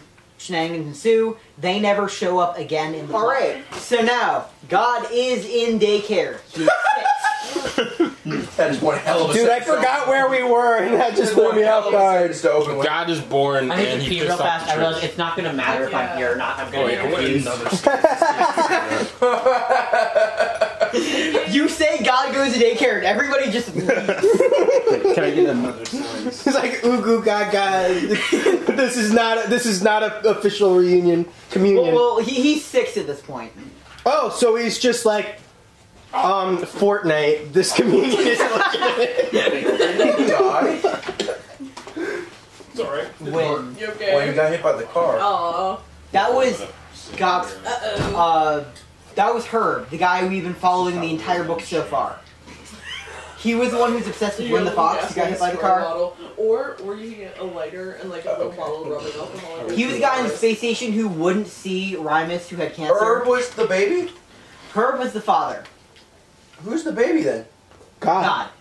But God got hit by the car. No, Herb got hit by the car. I thought the baby got hit by the car. Baby got is hit by Herb. car. Oh Baby wait, is Herb? but like, okay, in in Valis, I think he's talking about the two-year-old that got hit by a car and Are you was like. about that baby? They got Yeah, the one that was God. Oh yeah, So he was dead. this is a new one. This is a new one? Who's phone? I thought this was about monotheism. Uh, it's the That was same guy, bitheism, just born- He's just back. Okay. He's just- Oh yeah, he had to be reborn. I He got, forgot. he got fucking retcon. Remember, he was born in this book. Oh, Yeah, okay, sure. He just died and like came back. It's good. he, he can be born again. Ah. Oh, okay, so it's like Legend of Zelda. Okay. What? Because Link You missed nothing. The reincarnated. It's like Dave from Kipo and the Wonder Beasts. Oh, wow. Reincarnation of Zelda's being spoken about. So we are in God daycare. God walks up and this little girl comes up and says, "Hey, you're God, right?" And he goes, "What?" And she goes, "Oh, cool. I'm like you." And she starts bending reality. Oh, okay. Check how hard I can work reality. So wonderful. I was, I was gonna say Wanda, but okay. Chaos control. And God goes, "Who the fuck are you?" And she's like, "Well, Yeah. you know me, but I'm not gonna tell you yet." Oh, wait, wait. I mean, yeah, Is it safe? No, Okay. Is, do you have your phone on you recording? no, but we should be good. Uh, okay, then. But I did need my phone for notes. Well, I'll grab Can one. use my it. phone? Alright. You're so funny. Tyler, do you want to use my phone? No, my phone has the notes on it. Okay. If you find, if you could just throw it at my face. Your phone. Oh, okay. It won't destroy itself or Does that anything, go right? for, for everybody? Um, no, it doesn't go for you. Specifically, not you. You're lucky I found it. All right. I knew where it was. Nice. So, um, God's like, um, wait a second, I recognize you. You're the queen of the fairies. And she goes, yes, but I'm something Fucking deeper. Titania's here What did I miss? Okay, so God walks into preschool, and this little girl comes up and she goes, "You're God, right? Don't worry, I'm like you." And she starts waving her hand, and reality. Oh, and bends. she's oh, okay, and she's queen of the fairies. Except she's also something deeper. Okay. We don't know what. Okay. She's also Artemis. A woman. Okay, I'm something deeper. I, I'm caught up. All right. Thank you. And then she goes, "Don't tell Elijah that you know me. Mhm. That's a bad idea." All right. daycare is this? Well, none of the guards can see any of this reality bending shit. It's happening and nobody else sees except God and her. Guard guards. right. God. God, the teachers, teachers, guards. You in the public school, it's the same thing. Bro, oh, the daycare. Logo. Also, she goes, "All right, guys. Since we're both like big supernatural players here, let me fill you in on what's been going on." So there's a new player in town, and she starts describing who this player is, and basically they're Jesus. So everyone dies, and they have to go to this like Egyptian afterlife thing where their sins are weighed against them. You know. Everybody Egyptian fail- specifically. Oh, look at this Specifically, Okay. About to make the Millennium Puzzle up here. that, that's what happens when you die. You go to the Egyptian like the and the Egyptian god And he goes. just like, hey, follow me. Uh, Where? And all of a sudden, this Jesus guy has shown up and is now forgiving people of their sins, and they're just going right into heaven. And they're the That's the big new thing that's going no on. Fence in the front. A bunch of And nobody knows where Jesus came from, where he got his power, all this stuff. Is Jesus actually also a Jesus? baby? Plants too. No. He's a little Okay. Is he actually Jesus? Well, all right. uh, th- th- th- this book starts getting a little crazy. Tyler, that wasn't an answer. Also, I like how you said, yeah, this book starts getting a little crazy. Like we haven't heard the other. So, meanwhile, Elijah is teaching God about the Torah. It turns out we've all been reading the Bible wrong. The Bible, once you start really studying and understanding how all the verses link, it's a four dimensional map. oh wait, is this like Fez? Oh shoot, this is so cool. So, well, ancient scholars used to just have to mathematically study the Bible and understand the links and secret symbology of everything. Now you can just plug it into a super secret hologram program and it puts it all up. And God's looking at this and looking at the shape and goes, No, that's wrong. And Elijah goes, What the fuck do you mean it's wrong? And God's like, See in the beginning here where it says, On the seventh day God rested? Mistranslated. That's not what I did. I played. And apparently, if you change this, this changes the entire map. Now, what is this a map of? Uh-huh. Reality. Oh, yeah, I was gonna say like everything. Yeah. yeah. So encoded in the word is the like the world. Yes. So it's like if you like to put a JPEG in a text editor, that's what it looks like. That's what Kind the- of, yeah. that's- So that's what like okay, that's what the Bible is. So about. everything that ever happens in time, if you correctly project the Bible, you know. And Oh. God sees that this projection is wrong. Yes. is there a direct statement as to which Bible this is? Is it the original Hebrew text? Is it the King James Bible? It is the one copy of the Bible that Elijah has had with him since it was originally written. Okay. The Bible we have now is fucked. It's been taken over by the communist uh, Catholic Church. Nothing in it's true. Okay. Yeah. Yeah. Okay.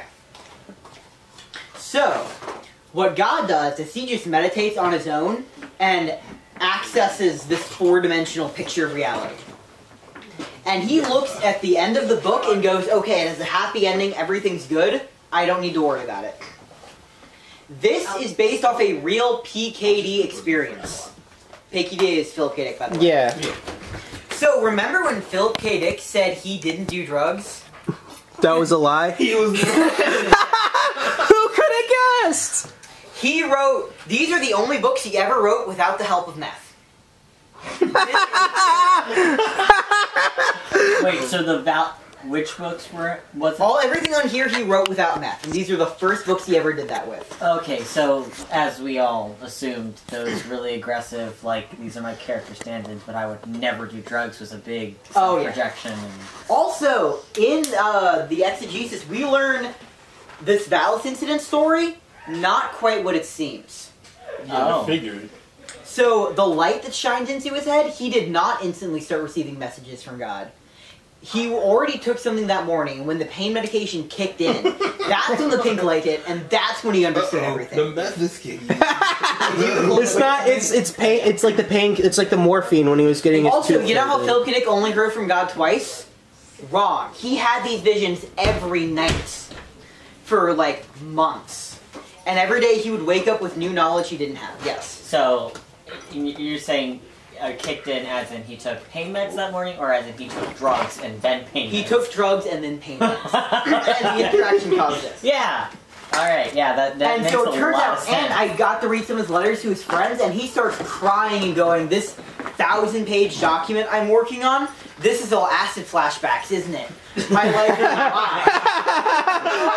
So wait, wait. The whole of the exegesis, this big 2,000 page thing he made, was just a big acid trip he took. Meth trip. I don't know. Drug trip. Well, he can't tell. known? He's having trouble with reality at this.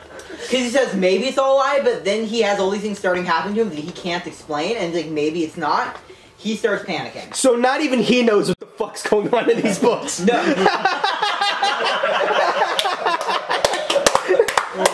now, are you ready to learn how to become God? Yes! Yes! Let's go. Does it involve taking drugs? Yes!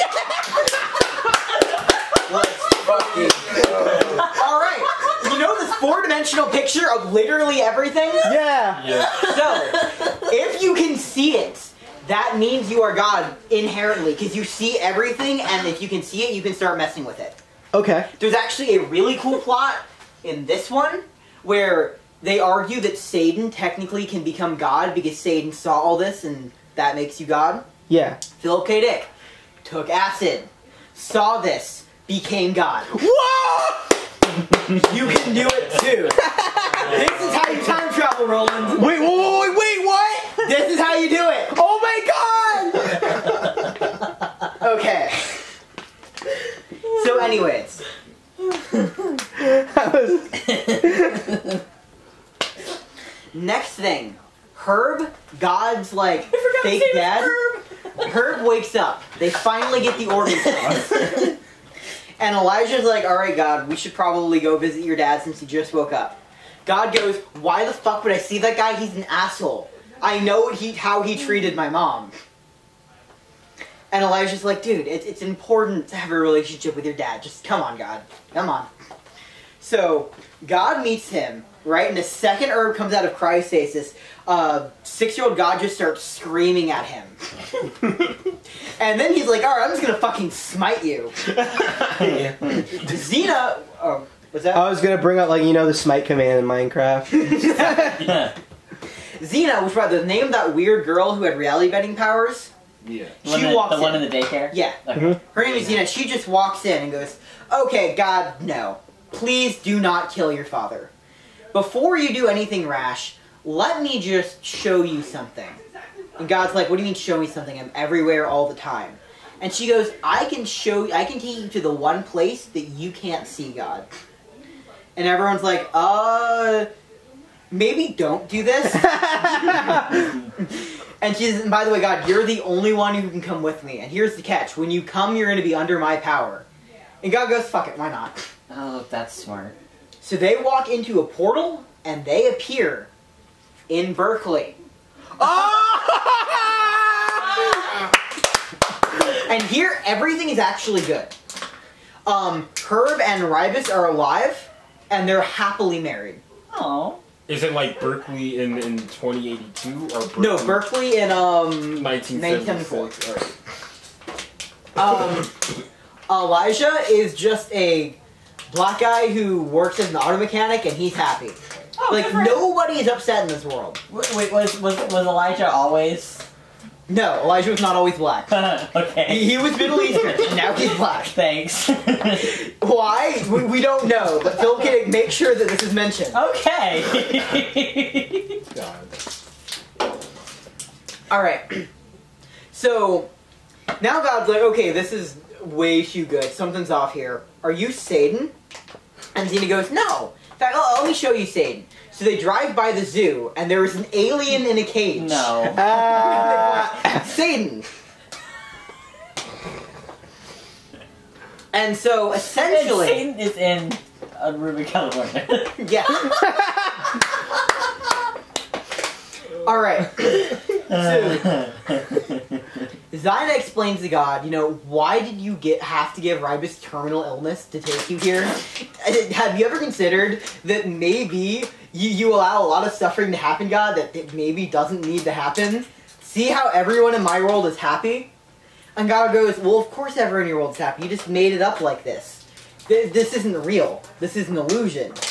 And she pulls the whole Matrix argument of what's the difference between reality and illusion.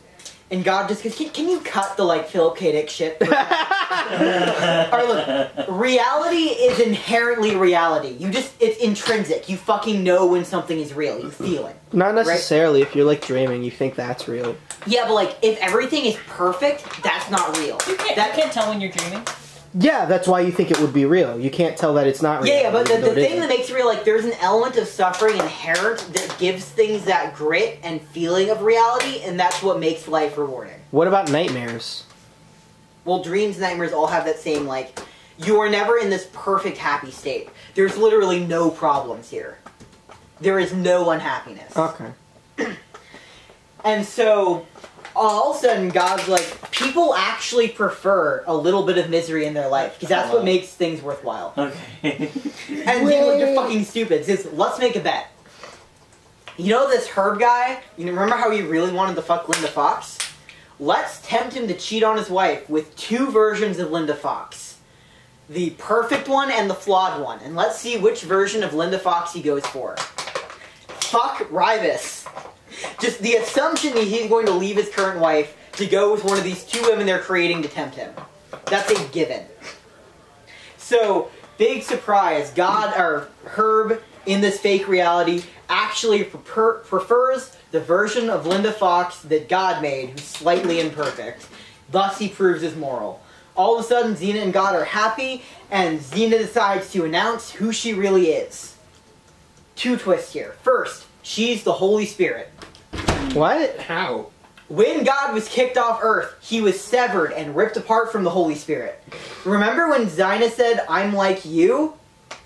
Trinity. That's how they're like each other. Oh my god. Ne- yes. So, so like they're just part of that Trinity, right? So Yeah. God is the Father in this case, right? Yeah. Okay. So we're This still looking for the Son. Very confusing because the God that was born is not Jesus. It's God the Father. Jesus is somewhere else. And he's older than God right now. Yes. Cool. Also, the Holy Spirit has another twist. Not only are they the Holy Spirit, but they are literally the Torah. What? What? How could how? They are the law that is written and when projected creates the 4D map. Because that is the creation of God, and the creation of God is sentient. And God knows everything that's within that creation, but the thoughts of creation itself are outside of it. So that is how Zina was able to take God somewhere he didn't know. Because this is Zina's literal imagination, which just creates an alternate reality, and God goes there, and because the reality is not in Zina, it is the thought of Zina, he didn't know. Bro, I- what are you saying? he he like knows what he's saying too. and that's what's funny. no, he doesn't. Wait, who do you think No, knows I- what they're no. saying? You're saying it doesn't it, it doesn't feel like he knows what he's talking about right now? What, Tyler? I know Tyler knows no, what he's he's talking so about. sure of himself, and Yeah. that's what's fucking scary. Yeah, Tyler knows what he's saying. I think Philip K. Dick doesn't know any of this. Tyler knows more about the books than the author does. That actually might be true. Oh god. Oh my. Okay, so now that God is finally reunited with his creation and himself, because it's the Holy Spirit, they like have a fucking party in this like perfect world. They run around and they free all of the animals in the zoo and then they leave. Okay. Satan was in the zoo. Oh. They left. They are no longer in the story. Wait, I thought- no more God, no more Holy Spirit. I, th- I thought that was a separate reality. yes. So, like, who cares? Well, we spend the rest of the book in the separate reality. Oh no! There's more to this book. yes. so throughout all of this time, there has been a yeah. Are we supposed to like these characters? Because I really can't tell. I'm trying. I'm trying to figure that out. So what- because because I'm like, oh, all right, God and Zina, no, and then they just freed Satan and like unleashed By him on this other accident, world. they Well, didn't I- mean to. But but Zina literally shows God who Satan is. They know who he is. They, they, they caught up. You know, they, they they they run around, free the zoo, and then Satan just walked out. Okay. Throughout all of this time, there's been this really stupid side plot I skipped over where Herb is trying to win Linda Fox's obse- or affection. Again, again. And he's finally on a plane to go over and help her record and leave his wife, who was happily married to before God came and fucked up everything here. Thanks God. So he's in the car driving when a goat walks up to him, opens the door, sits in, and goes, Hi, I'm Satan, you're fucked. Ooh. Oh. Ooh. I'm taking over this world now that God left and clearly doesn't care about any of you. And we get to find out what Satan's superpower is. Satan can take the beautiful things God made and make you see them as bad. Okay. Which actually is kind of cool because the whole thing is he twists your morality where you see things as ugly and bad when there is no problems, and your attempts to solve these problems are the evil you cause. so, Satan's big evil plan to ruin Herb Asher is he's going to take him to Linda Fox, and then he's going to make Linda Fox look ugly. Oh no! I no. Okay. And so he's freaking out because they're getting closer and closer to her house. And if Satan gets to her, she'll look ugly and he'll never have this hot woman in his life again. So they get right to the door. And then Linda Fox walks out with a gun, shoots Satan in the head, is dead. No more Satan. Because Linda Fox is Jesus. What? Oh my god. That's I, fine. I, I was I was caught up and now I'm lost again. Let me Okay. explain. The Trinity is here. We're all fucked. So, Linda Fox was created to be this perfect image put in this like non-perfect body, right? It was a dose of reality to the like supernatural image of truth. Just like like Jesus was born in a physical flawed human body but contains the essence of the divine. All of time happens at once, right? In this. So, by creating Linda Fox here, this is when the entity of Jesus was actually created, even though Jesus was born thousands of years earlier. Okay. Now, how does the, how do they get out of this alternate universe and back to the main timeline? We don't know. This is where the book ends. Oh. Oh, cool. The divine invasion, everyone. Drugs, drugs, drugs, drugs, drugs, drugs, drugs, drugs, drugs, drugs, drugs, drugs. 1982. Philip K. Dick dies. Oh. Oh wait, are you serious? Like in real life, or Yeah. Oh. real life. No more in real life? Dick. He's Oh. gone. The way that so much shit has happened that that question makes I don't know what the hell's sense. happening. I, Yes, de- so dead in real life. Dead in real life. Okay. that sucks. Not and that's where more Valis books. may, may, might I point out that 1982 is also where things get interesting. Yes. Philip K. Dick is finally out of the picture. Now we can get to the good stuff. Can't believe Philip K. Dick is finally. So, right here, 1982, two very important things happen. Philip K. Dick dies. Yeah. Yep. None of his stuff goes to his wife, Tessa Dick. This is his sixth wife. That's a dude. That's a dick, dude. She gets nothing. She gets All of nothing. his money and his rights go to this le- weird legal entity called the PKD Estates. Okay. It is a Pretty mix cool, dude. of some sort of like corporate entity they formed that's partially owned by a few of his different kids. It's very muddy. Okay. The same year, the movie Blade Runner comes out. Ooh. Blade Runner does not do well financially, but everybody sees it. Yeah. All of a sudden, people are obsessed with Phil K. Dick adaptations. Remember when I said he was a minor celebrity that like only few people heard about? Yeah. Phil K. Dick out of nowhere becomes a household name. right after is- he dies. Yeah. Actually, he never got to. See, he only got to see the first 15 minutes of Blade Runner without Vangelis' soundtrack, and he was like, "Wow, I'm really glad. I hope this movie ends up I put it in the shower. being okay." In the bathroom. Dies. Movie comes out. Like And it's pretty good, actually. And it explodes. Blade Runner, one of the best movies ever made. All right, so I don't think I've ever seen it. I've never seen I it wouldn't recommend it. Right up there with the Care He Bears wouldn't. He doesn't really recommend any movies. Well, when I recommend a movie to you, it's going to be a movie you like. So I'm very careful about what I. Hey Tyler, play Omori. Demerits. Holy fuck! That's It's third That's one. three. you went an hour and forty five minutes. Yeah. Let's go, Roland. All right, so Bap, bap, bap, bap. Valis is weird. All right. Yeah, we noticed. really? Holy PKD estate is like shit. Everyone kind of likes Phil K. Dick. He's core now. He has this weird like, what is reality aesthetic. But if people realize how fucked up this guy is, he's not going to be a cash cow anymore. So they just keep Valis on the down low. They try to sell oh, none of it. okay. They don't admit that it exists. Well, Valis blows up anyways because Philip K. Dick fans get really excited. And people are like, "Where's the third book?" Because Philip K. Dick was working on two more sequels. One is called The Transmigrations of Timothy Archer, and the other is called Owl in Daylight. He has unfinished manuscripts for both of them. Eventually, in 1982, oh yeah, later that year, Valis says, "Fine, we'll publish," or the PKD says, "Fine, we'll publish the last Valis book." And it comes out, and the style does not quite read like Philip K. Dick. Mm-hmm. And the ending is particularly suspect. And so everyone starts saying that, like, they intentionally are trying to make it more palpable. And his wife, like, Tessa Dick, gets very upset about this. so as we're going through, just pay attention to what seems off. Alright. So, Transmigrations of Timothy Archer. We begin with this woman named Angel. It is uh, the 1960s in Berkeley, California. Mm. Angel is married to Jeff. Jeff is the son of Timothy Archer. Timothy Archer is a bishop. And he is a very outspoken, very extroverted, everybody likes Timothy Archer. He's cool.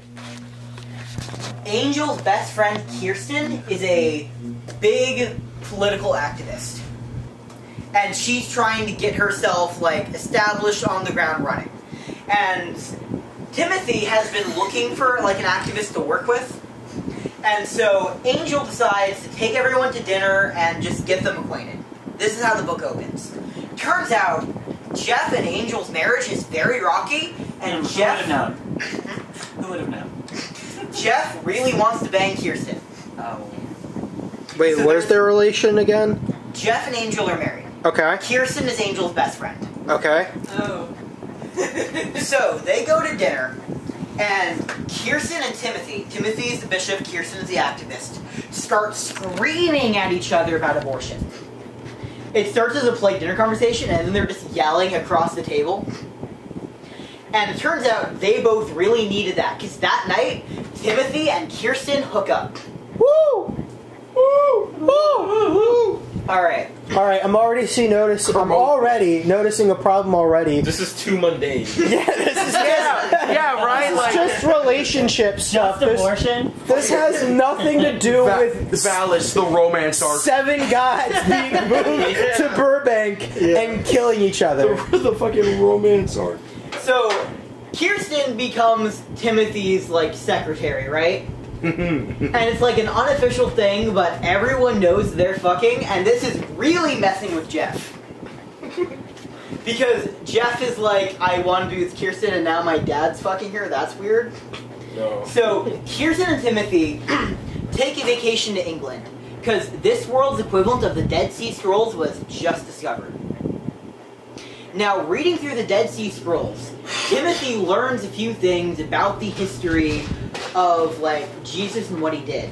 It turns out, and Jesus states this pretty directly, I am not God. I am delivering these mushrooms that are God. You take a bite of these mushrooms, they give you the experience, and you connect with God and become one with heaven. Jesus was a drug dealer, yes. Something's wrong too open about drugs. Yeah, yeah, things are definitely off here. Uh, points. Golden star. Golden star. Yo, do I lose one of my demerits? No, you Oh. have All right. Golden star. Alright. So, this really, really shakes Timothy's faith. Because the big thing with Timothy is that he's this major intellectual, and he's like, I'm not like other bishops. I actually make a cohesive argument like and the other believe in. God because of the facts. I have, like, no faith. That's not my thing. So he reads the Dead Sea Scrolls, gets conclusive proof that the only way to really believe what the Catholics are saying is to disregard all proof and just have faith. And he's like, not into that. Well, anyways, while him and Kirsten are off, like, reading manuscripts in fucking England, Jeff decides, I can't take this anymore, and kills himself. Oh, it's getting spicy. he- Jeff is Jesus. That's that's pretty that's pretty on par. And Jeff makes a. It, it very so clearly implies Jeff's like, this is because of you, Dad. Fuck you. There's so much suicide in these books. Well, that It's happens only to been- a lot of Wow. Philip K. Dick's A lot of suicide. Really? Yes. So Timothy is like, all right. Then he starts seeing his son's ghost in his house, and Kirsten sees it too. And the two of them become convinced that Jeff is trying to contact them from beyond the grave. So they go consult a medium and try to speak to Jeff. The Catholic Church really doesn't like this. So they kick Timothy out of the organization. He's no longer a bishop. Before we get to what the medium says, we also need to talk about Bill. Bill is Kirsten's son from another marriage. and Bill is not mentally altogether. It's never specified what kind of mental illness he has, but he cannot just. Yeah. the board's told. Okay. I thought you were just gonna push the whole thing off. I would've would been fun. I would have cried. But he's like a really nice kid. He's trying really hard. He just can't hold down a job or do anything. And so he's just kind of hanging out. And um, Timothy has been Bill's spiritual mentor throughout this because Bill is trying to come to faith. So Bill comes to Timothy and is like, hey, so I feel like this whole seeing a medium thing isn't very Christian. And Timothy's like, "Eh, there's no reason to have faith. God's a lie. Uh, just, just wallow around in misery. Yeah. Bill Bill doesn't take this well. So they go to the medium, and the medium says, "All right, Jeff forgives you, Timothy, but fuck you, Kirsten. You're a woman in a Philip K. Dick book. You're Oh no. also, the medium says, Kirsten, you are going to die soon because of this, and it's going to be a painful and horrible death. Does she have cancer? No. Oh, wait, oh yes, she does. All right, checks out. Philip K. Bit Dick book. Yeah, I'm like, I'm like picking out the bits that he clearly wrote. Timothy. Well, yeah, I'll, I'll get to my personal theory and what happened with this book. So, um, and she said, Timothy, you're going to die the same death, probably. In fact, your death is probably going to be way more horrible than Kirsten's. You've got a little bit longer to live, but it's going to suck. There is one way out of it. If you become like a, a good Christian and listen to God, God will give you a way out. Apart from that, you're fucked. And then the medium just oh, says, okay, have a good day. Walks off. So, Kirsten doesn't take this well. She gets really upset, and it turns out her relationship with Timothy is horrible. So, Timothy constantly makes her feel guilty for sleeping with him. because he's a priest and she's like ruining him, except not because he wants this. Kirsten, um, so she just smoked pot, right? And Timothy constantly like was like, "You shouldn't do drugs. You're a horrible person." And then she slowly slipped into harder and harder things.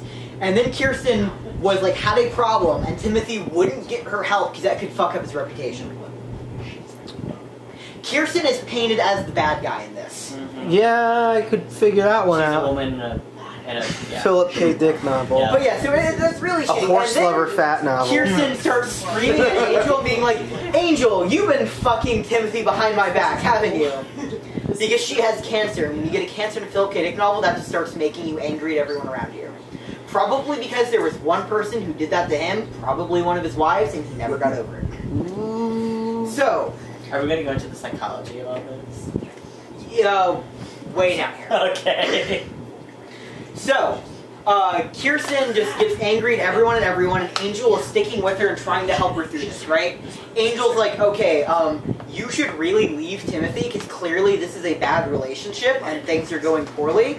And then Kirsten goes, you're just trying to steal Timothy from me, aren't you? And then she kills herself. Oh my god. Okay, Angel does not take this well, and neither does Timothy. Do we still have a red marker? Can we start Xing out names? What is with you and Xing out names? I just think it's funny. Can, Can do you want throw me me involved in this or not? I do want you involved in this. Roland Demerit. Ah! Get the Demerit off if you get me a marker. Where are the markers? I don't know. Back there somewhere. uh, It also helps me visualize who's alive and who's dead. Kirsten. Jeff. Okay. All of my friends are like, were like me.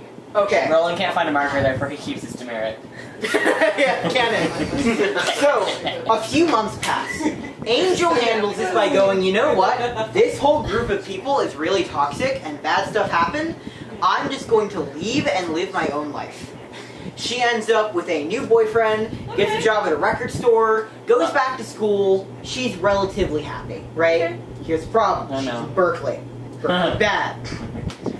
Alright, Timothy goes the complete opposite direction. He's like, well, there's no people in my life anymore, so I can just devote myself fully to studying my religious ex- eccentricities. So he just sits there for hours and studies the Dead Sea Scrolls. He discovers something in his research. He finds the Jesus mushroom. Wait, oh. what? The mushroom that Jesus was selling The that lets you become gods. Wait, did we mention this before? Yes. Oh Yeah. wow, okay. I missed a very important step here. You, you know how um, drugs make you God? Yeah, I know Canon, that. Dead Sea Scrolls, Jesus is a drug dealer. Timothy finds where the mushroom is growing. Okay. It's somewhere deep in the desert, in the Holy Land. Nobody knows but him. And he's like, I need to talk to Jeff again, I need to talk to Kirsten again, I need to like make up for my mistakes because I've kind of been a shitty person. So I need God's divine wisdom to help me make up for this stuff. So he goes to Angel and is like, look, I'm pretty sure when the medium said there's one hope for me, this is it. And I need you to come with me. Because if you don't come, we are both going to die. She goes, what do you mean? He's like, you live in Berkeley. You, you can't be happy. Your life is inherently meaningless. You are forever a student here. You will never go out into the world and do anything meaningful. And by the way, I bet your relationship with your boyfriend sucks, doesn't it? Turns out it does. She, she's unhappy. So Timothy's like, leave with me, go to the Middle East, it'll be cool. And she's like, well, I don't want to be your secretary like Kirsten. That, that's weird. And like, is, uh, no sexual tension between us. And Timothy's like, no, no, of course not. But maybe. Uh, but no. And so she goes, no, I'm not doing this. Right? Demonized for it. Morally bad choice. So, Timothy goes to the Middle East by himself to find the mushroom. He gets in a car, brings nothing but two things of soda, drives out into the desert, dies of dehydration before he finds the mushroom. Yeah. Timothy Archer, dead. It's Angel's fault. Angel is fucked up over this. If she was fucked up before, because apparently she loved Timothy. Oh no! Uh, So now she goes to seek the help of a medium. Timothy's old, not medium, this is a spiritual guru. Timothy's old best friend called Edgar Barefoot. Edgar Barefoot is Alan Watts. If any of you know who that is. Nope. No. Alright, never mind that. so, Edgar Barefoot is kind of like this white guy who lived in uh, China for a while, really, really got into Tibetan Buddhism, just kind of spreading around California. She goes, talks about life shit, and he just gives her like the basic textbook answers. And she's like, well, this sucks. But I'm doing nothing else that feels productive in my life, so I might as well keep going here. Eventually, she runs into Bill. And they're like, wow, it's cool to see you again. You're the only person from this entire group who isn't dead, not horribly fucked up. And then Edgar's like, oh, you met Bill. Bill's the Buddha. Like Did you know? actual, actual. Yeah. Okay, so there's a date. So it turns out, the reason he says this is because Bill has been awakened because when Timothy died, his spirit entered him. Yes. His spirit with the mushroom knowledge, and now Bill is awakened. Yes. Was Timothy Buddha, or was it just a Bill and Bill is Buddha, but also has Timothy's? Don't worry about this. Okay. So, Angel goes, What the fuck is wrong with you, Edgar? This is a clearly mentally challenged person. Please stop telling him he's Buddha. This is hurting him. And Edgar's like, Well, here's the thing about the Buddha, right? It's not literal. All of this is symbolic. So if I'm telling him the symbolism and Angel's like, shut the fuck up. I'm tired of this intellectual, spiritual bullshit that I've been living this entire book. In fact, you know what? Fuck Valis. Fuck everything that has to do with God. What? religion. I'm just gonna go be a good person and not touch intellectualism ever again. Hey, where'd that come from? Huh, that's strange. I'm just gonna go read fun sci-fi stories and smoke weed. So she goes off with Bill, and the two of them smoke weed together. Then, um, this whole time, Bill finally starts realizing that okay, maybe I'm not the Buddha, and I really need help. Please help me. And Angel's like, uh, I, I kind of don't like people right now. I, I need space. So Edgar is like, look, Bill needs help. You have money, you have a place. Can you please help him? And this ends with Angel going over to Edgar and saying, all right, I'll help Bill in exchange for this valuable record you have. He happens to have this special recording of some Japanese artist who would record four sounds and then play music over them. That's like the music.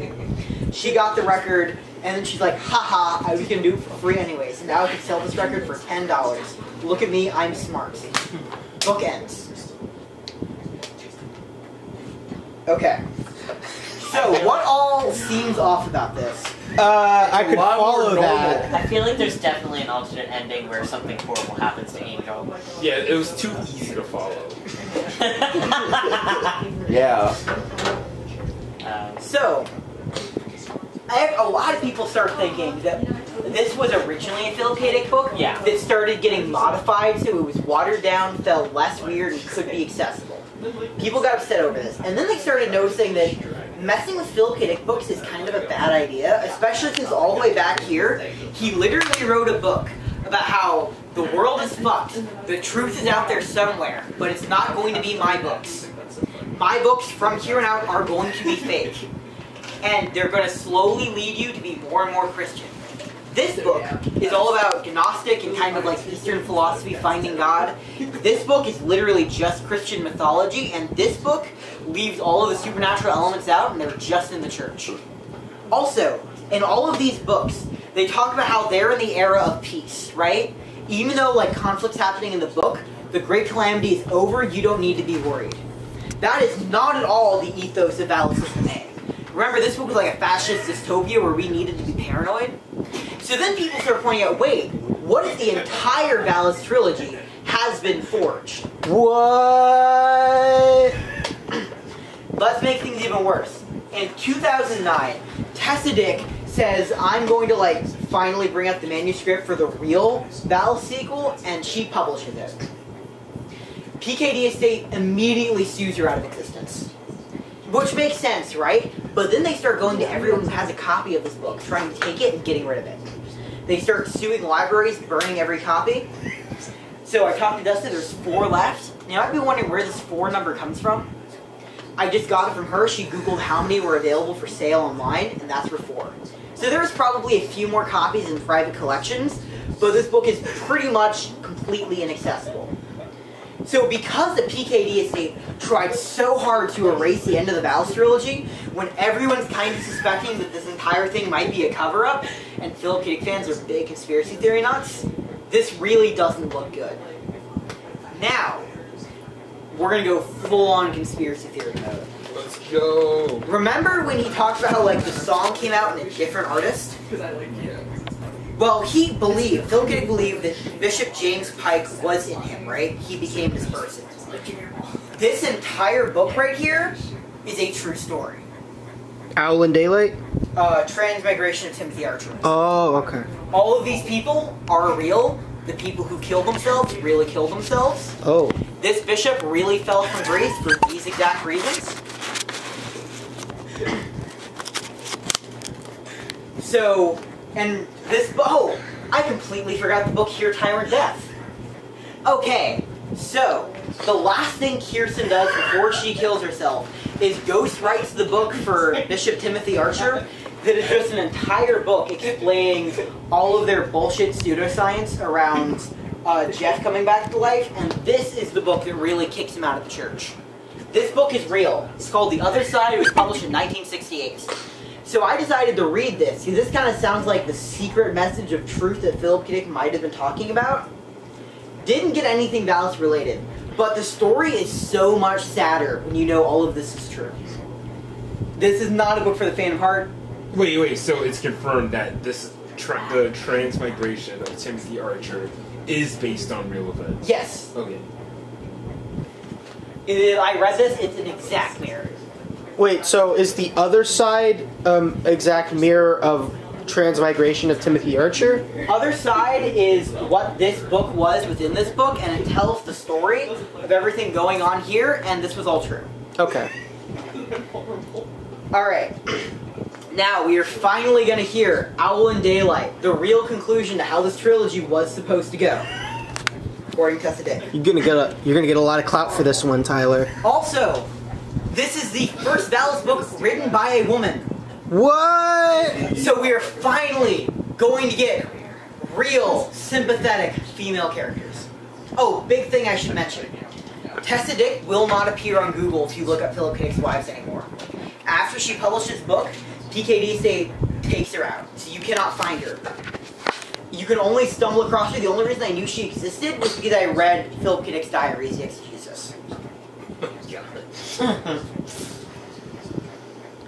Exegesis. Alright.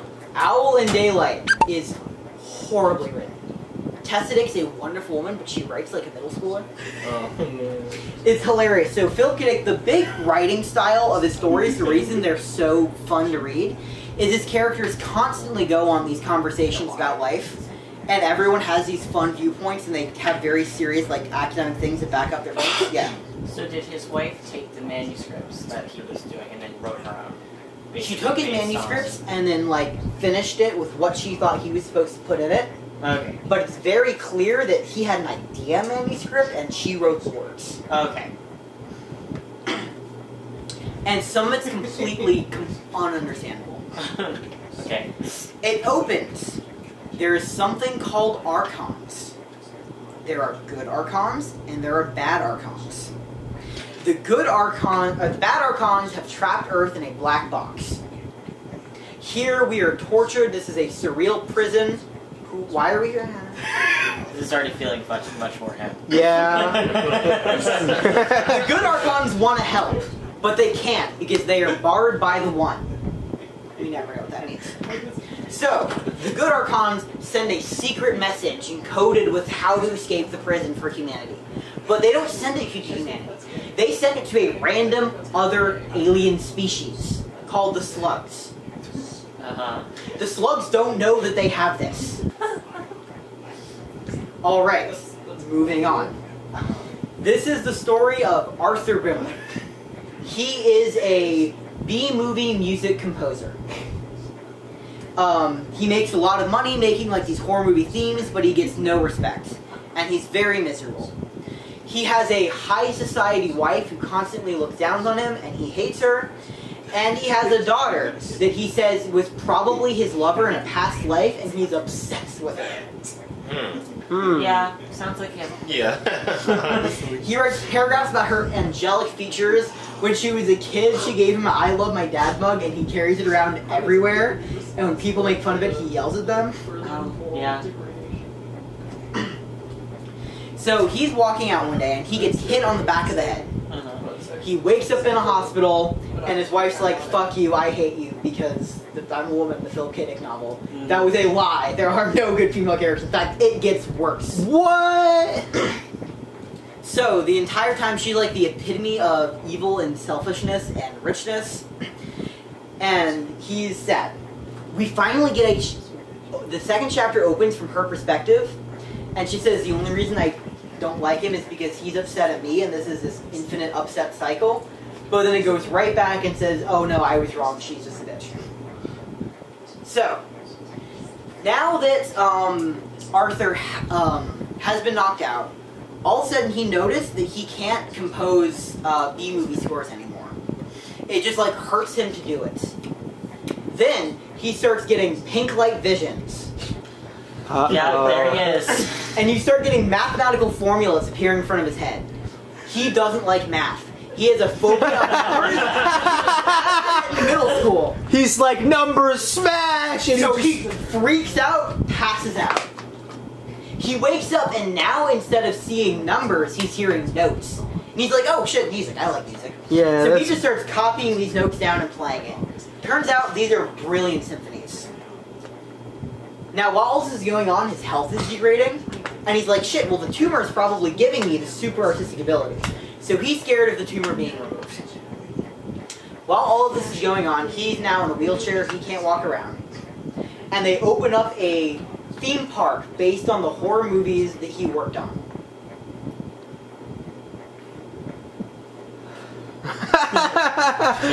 Are you okay, Tyler? Do you, you, Okay. you need a water Lock bottle?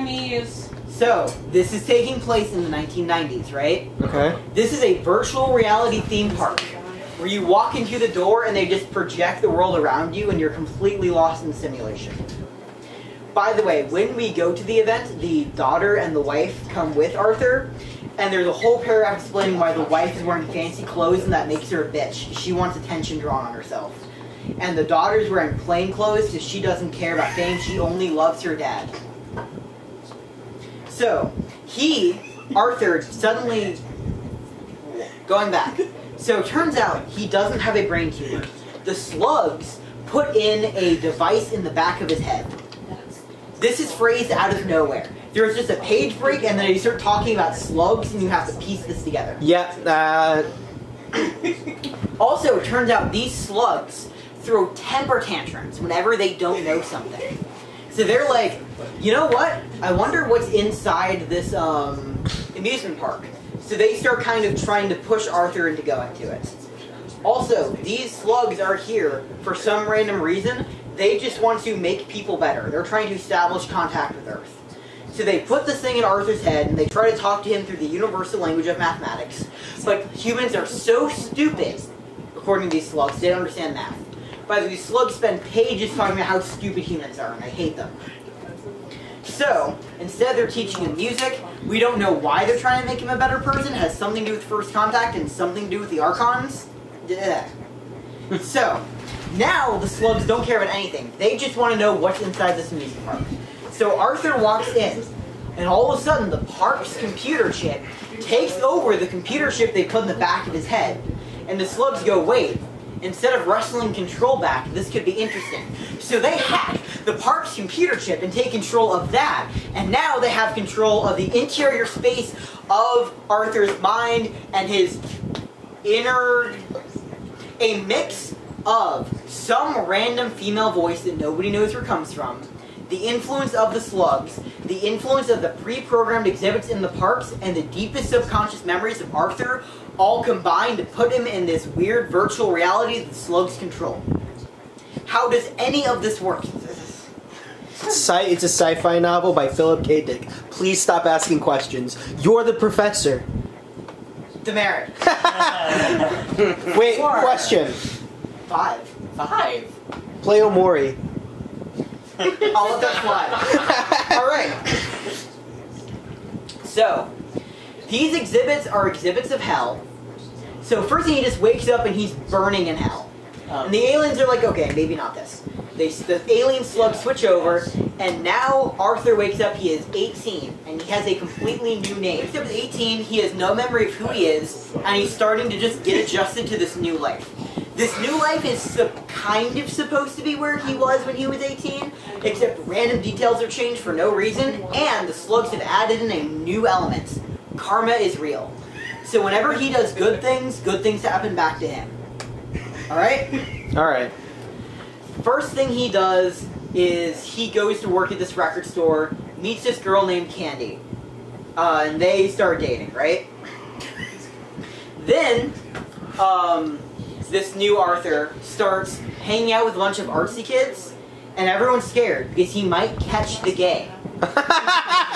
this is a major concern of his. He's like, I've been questioning sexuality because I've been hanging around gay arts kids, and this is dangerous to my health. Candy and my mother constantly pointing this out. There's this big moment where he wants to go to the bar with his friends, but it's a gay bar and he can't go in without Candy to come with him. And Candy doesn't like his gay friends, so he has to not go to the bar and drink with his friends, and it's really sad. Poor homophobe. Alright. So eventually he decides, fuck my mom, I'm just gonna leave and move in with these artsy kids. Well, these artsy kids start giving him these weird leftist ideas, like maybe the Korean War is bad. and Candy's like, well, I only like military men. Actually, why aren't you in the military? Is it because you're gay and you're in the military? And he's like, no, it's because I have an injury on my foot. And so she's like, okay, I'll date you for now because I kind of believe you, but you need to improve yourself because I'm dating a soldier when they get back. So, turns out Candy is the same thing as the younger version of his ex-wife in the future. And in real Whoa. life, yes. Where did that come from? So we're not in the future. In the real world, his ex-wife is named Edna, but in this she's named Candy because he's in this virtual reality simulation of when he was 19. Oh wait, he's still in the simulation. Yeah. Oh, And the sim and so okay, we're several layers deep. I am losing myself here. And the book does not differentiate between them. Cool. So yeah, we're in this virtual world, and the alien slugs are throwing a fit. He's like, all this guy does is sit around and bitch about how much he hates his wife and wants to fuck his daughter. And now that he can go Boomer. over life again, he's marrying the same woman again. What is wrong with him? Boomer. So the entire world starts having signs go up say, you're on the wrong path, turn back now. Homeless men are holding up signs saying, dump the woman you're with. And he's just walking by ignoring them. So the aliens look say, we're really not getting to this guy. So let's just change the simulation and send him to hell. oh. So they change simulation, he spends some time in hell, scares him straight, he finally decides not to date Candy. Two pages later, he changes his mind, they're dating again. But Candy decides to start dating other men. And then Arthur has to have a talk with her and goes, you know what, I'm not okay with you dating other people and fucking them while we're dating, so maybe we should break up. And she goes, fine, whatever. But they still keep going dancing on Saturdays. Hmm. So, also, Arthur finally starts writing music. The slugs are like music is shit. No value in Not music. boo. Music is not math, therefore waste of time. We were teaching music to help you get closer to math, so we don't want you wasting your time with music again. So slugs just alter reality. Every time he tries to go to his job at the record store, he just ends up at a bookstore now. And he's like, well, this is weird, but uh, fuck it, I'll, I'll go with this. I work at a bookstore now. So his boss says, all right, start putting away books. So he walks around the store and just does it. And he finds Plato's dialogue in the children's section. So he picks it up, moves it over to the philosophy section, accidentally drops the book. The book disappears, turns into Plato. Oh yeah, you know, like it does. Now Plato is like a giggling madman. He's just screaming hee hee hee, jumping around. And then he tries to explain the Recording. He wakes up at eight times. All right, all right. We gotta continue this. Okay. So he also he notices that the soulmate person in the bookstore is a lot like his daughter. I fucking knew it. Oh. Oh. And so then all of a sudden the slugs are like, okay, time to make this surreal. So he wakes up and um, he and his friend Bobby, who's one of the arts friends who ended up getting drafted in the Korean War, lost his legs. Bobby walks back, has both of his legs, and he's told that you are now going to take 12 trials. If you pass these 12 trials, you can get the woman you were always meant to belong with. So they go through, and Bobby's sent to guide Arthur on this quest so he can finally be with the woman that's like his daughter. Turns out, the woman isn't for Arthur, because Arthur's already married and she's his daughter. It's for Bobby. And he's like, fuck, I'm not gonna help my friend marry my daughter slash woman of my dreams. They fight, they get over it. Every trial in this fucking game is like naked women dancing in front of them, they just have to resist the urge to touch or speak to them. and Arthur fails every time. Oh my! Bobby succeeds. So halfway through the trials, like whatever surreal entity is running this, not verified, Great. clarified, comes to Arthur and says, "Look, you're bad at this. Just stop. We're gonna let Bobby keep going, taking these trials. You just go back home to your wife." Arthur's too down bad. Yeah. Arthur's like, "Ah, fine, I'll Down go with my bad. Down He goes to his wife, and then the two of them are turned into owls. Uh, oh. Are they in Owl daylight? in daylight. And uh, they can't see in daylight Oh, be- because you're owls. is that a thing owls can't do? Yep, Owls can see. not in daylight. It's not very well. Yeah, not very well. Okay. We That's can see better at night than they can in day. Okie dokie. According to Tessa Dick. Okay. So, now they are brought into the animal kingdom, where they just live as birds. Turns out, while um, Arthur is in the hospital, his wife Edna is having the same dreams of being an owl, and for the first time, they're actually happy together as a couple. And so Arthur keeps commenting, Well, I'm really happy with my wife, and I guess I could stay here, but I'm gonna have to live the rest of my life knowing that I'm not with my daughter's soulmate, and he's sad. But also happy, depends on the page. So finally, they're owls long enough that they can go to the door of wisdom, finally meet this woman who the voice has been guiding them the entire time. It turns out that it has something to do with archons. Oh. This is the piece of wisdom that they gave to the slugs to somehow get to humanity, to somehow teach us how to escape the evil prison. Or something. the the the woman's voice, Yep. but the slugs didn't even know about it. So Yep. is how is it supposed to help them? It's not supposed to help the slugs, it's supposed to help the humans. The slugs are supposed to somehow carry it over here. Uh, okay. So, that all happens. Also, um, while Arthur is unconscious, his wife finds his symphonies that he wrote when he was like getting divine inspiration. These are huge. Make big splashes. He's a huge success. He wakes up from this coma and everyone's happy. He does finally, after getting past the owl phase, wake up from his coma. He wakes up in the hospital. And his wife loves him again because now he's making real music and he's successful. And he's like, I love you too because you were an owl, except I don't love you because you're not my daughter, but fine. Whatever. Uh, I'm okay with this. So, they remove the thing from the back of his head, the tumor, right? The tumor was the alien slug battery. yep. The aliens don't care about this anymore. The alien slugs gave up on their mission to improve humanity. Because everything that happened with Arthur in VR was so entertaining that they just decided to make alien slug popcorn, eat it, record it, and now they're going to sell a cinema verite production back on their slug homeworld and be rich. Genius plan.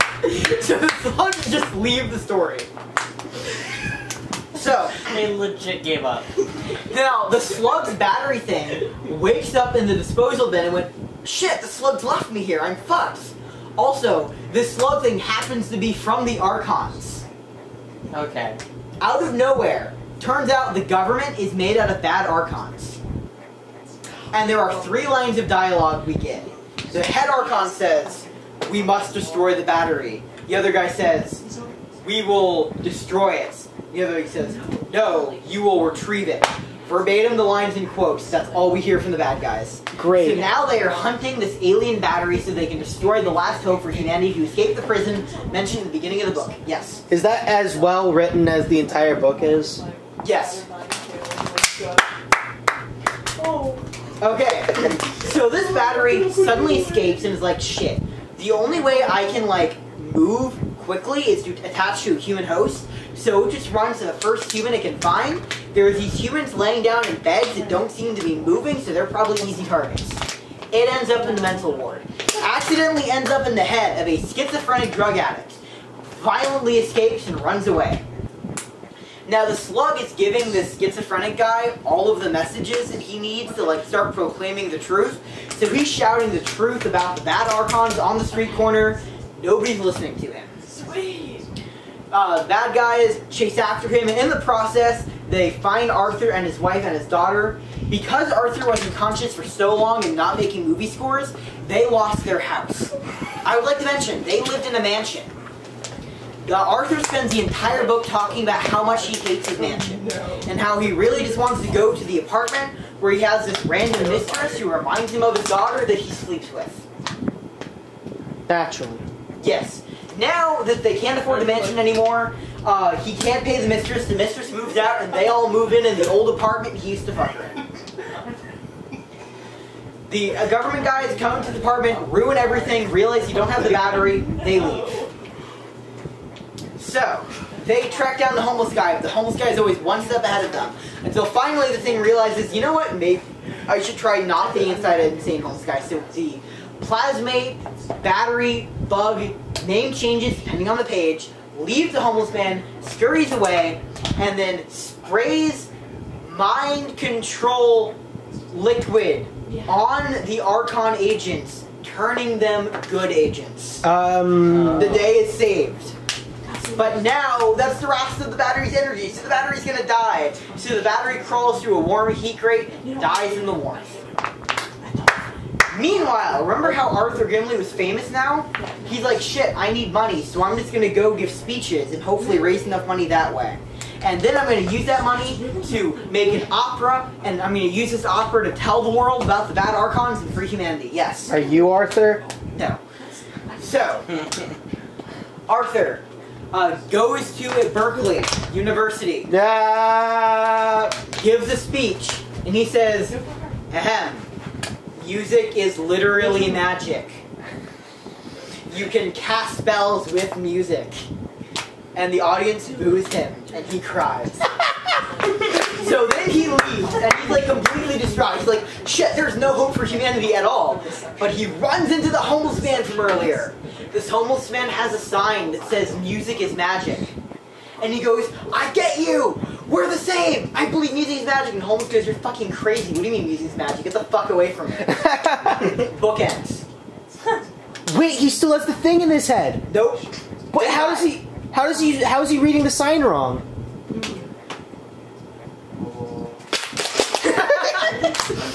I can't believe this.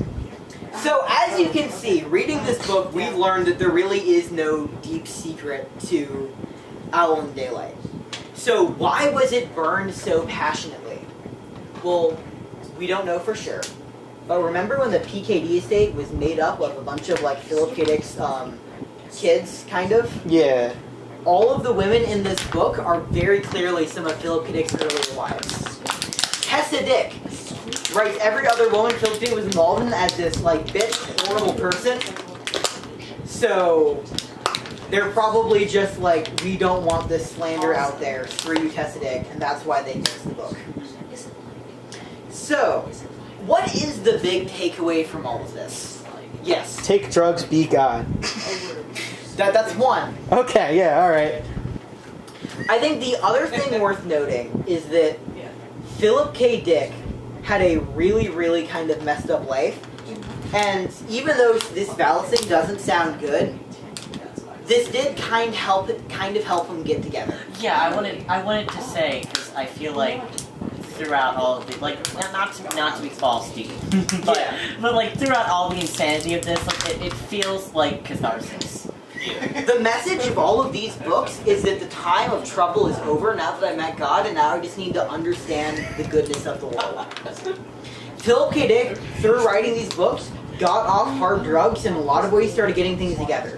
He had his first, because he writes entire things in his diary about how much he loves Tessa. and how great their relationship is now. He's able to build his first solid relationship.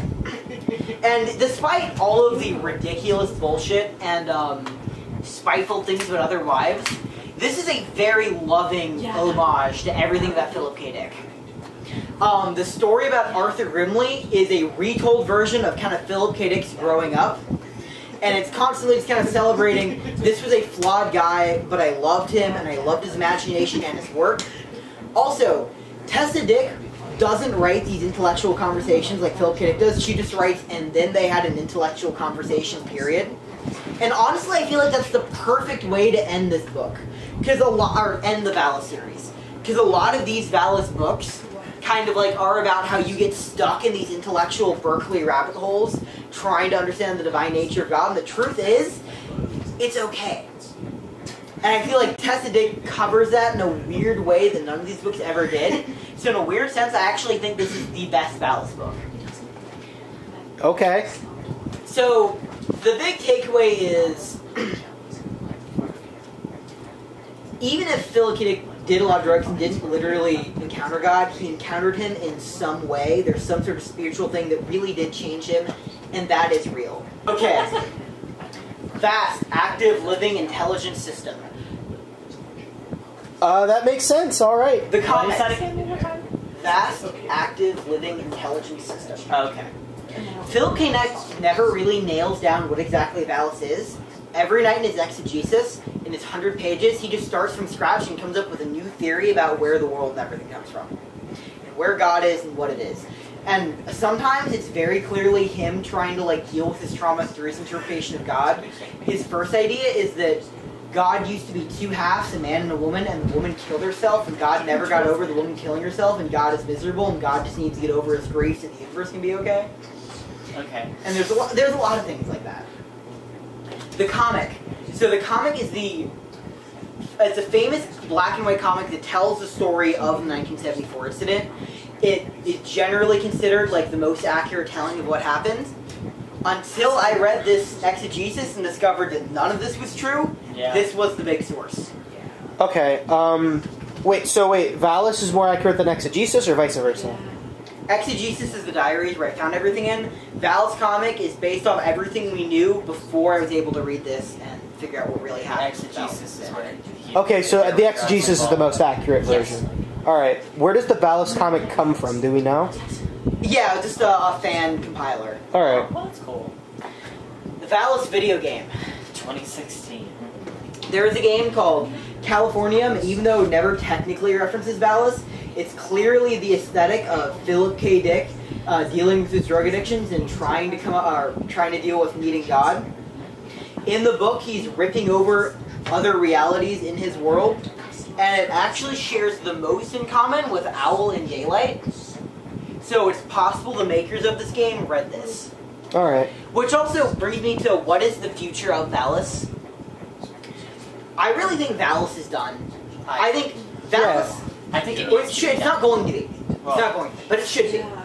Valis is the story of a very, very fucked up person coming to something that was kind of a better version of himself in a very weird way. Yes. Now, Philip K. Dick was constantly paranoid about government conspiracies, and as you can kind of see, his internal worries kind of projected into the world around him. Because the story of Valis is kind of Philip K. Dickian in and of itself with all of this over here. So this is really Philip K. Dick's story and the world reacting to that. But because Philip K. Dick is still really, really big, people are constantly looking for new stuff of his to adapt. And really, we're getting to the point where the only things left are the Valis books. Oh no. Multiple pitches for Valis have been made. The reason that Radio Free Albemuth was made was PKD estate was testing the water to find out, okay, can we merchandise this? One of the reasons this did so poorly was because it had no budget, and instead of focusing on fascist dystopia, the whole thing is a love triangle between the uh, Sylvia, the wife, and the guy who met Valis in Radio Free Albemuth. So, probably what's going to happen is Valis is slowly going to get diluted into rom-com dramas. Oh no. The most rom-com adaptation Christian I think we're sci-fi. going to see is Transmigration of Timothy Archer. So I think the best thing you can do for Valis is just not fucking feed into it. Any other lingering questions? What is Valis? Demerit. How much is All right. that sex? This has been Shaka University. Uh, do drugs become the ruler of the universe? Phil K. Do understand mechanical hand? No one.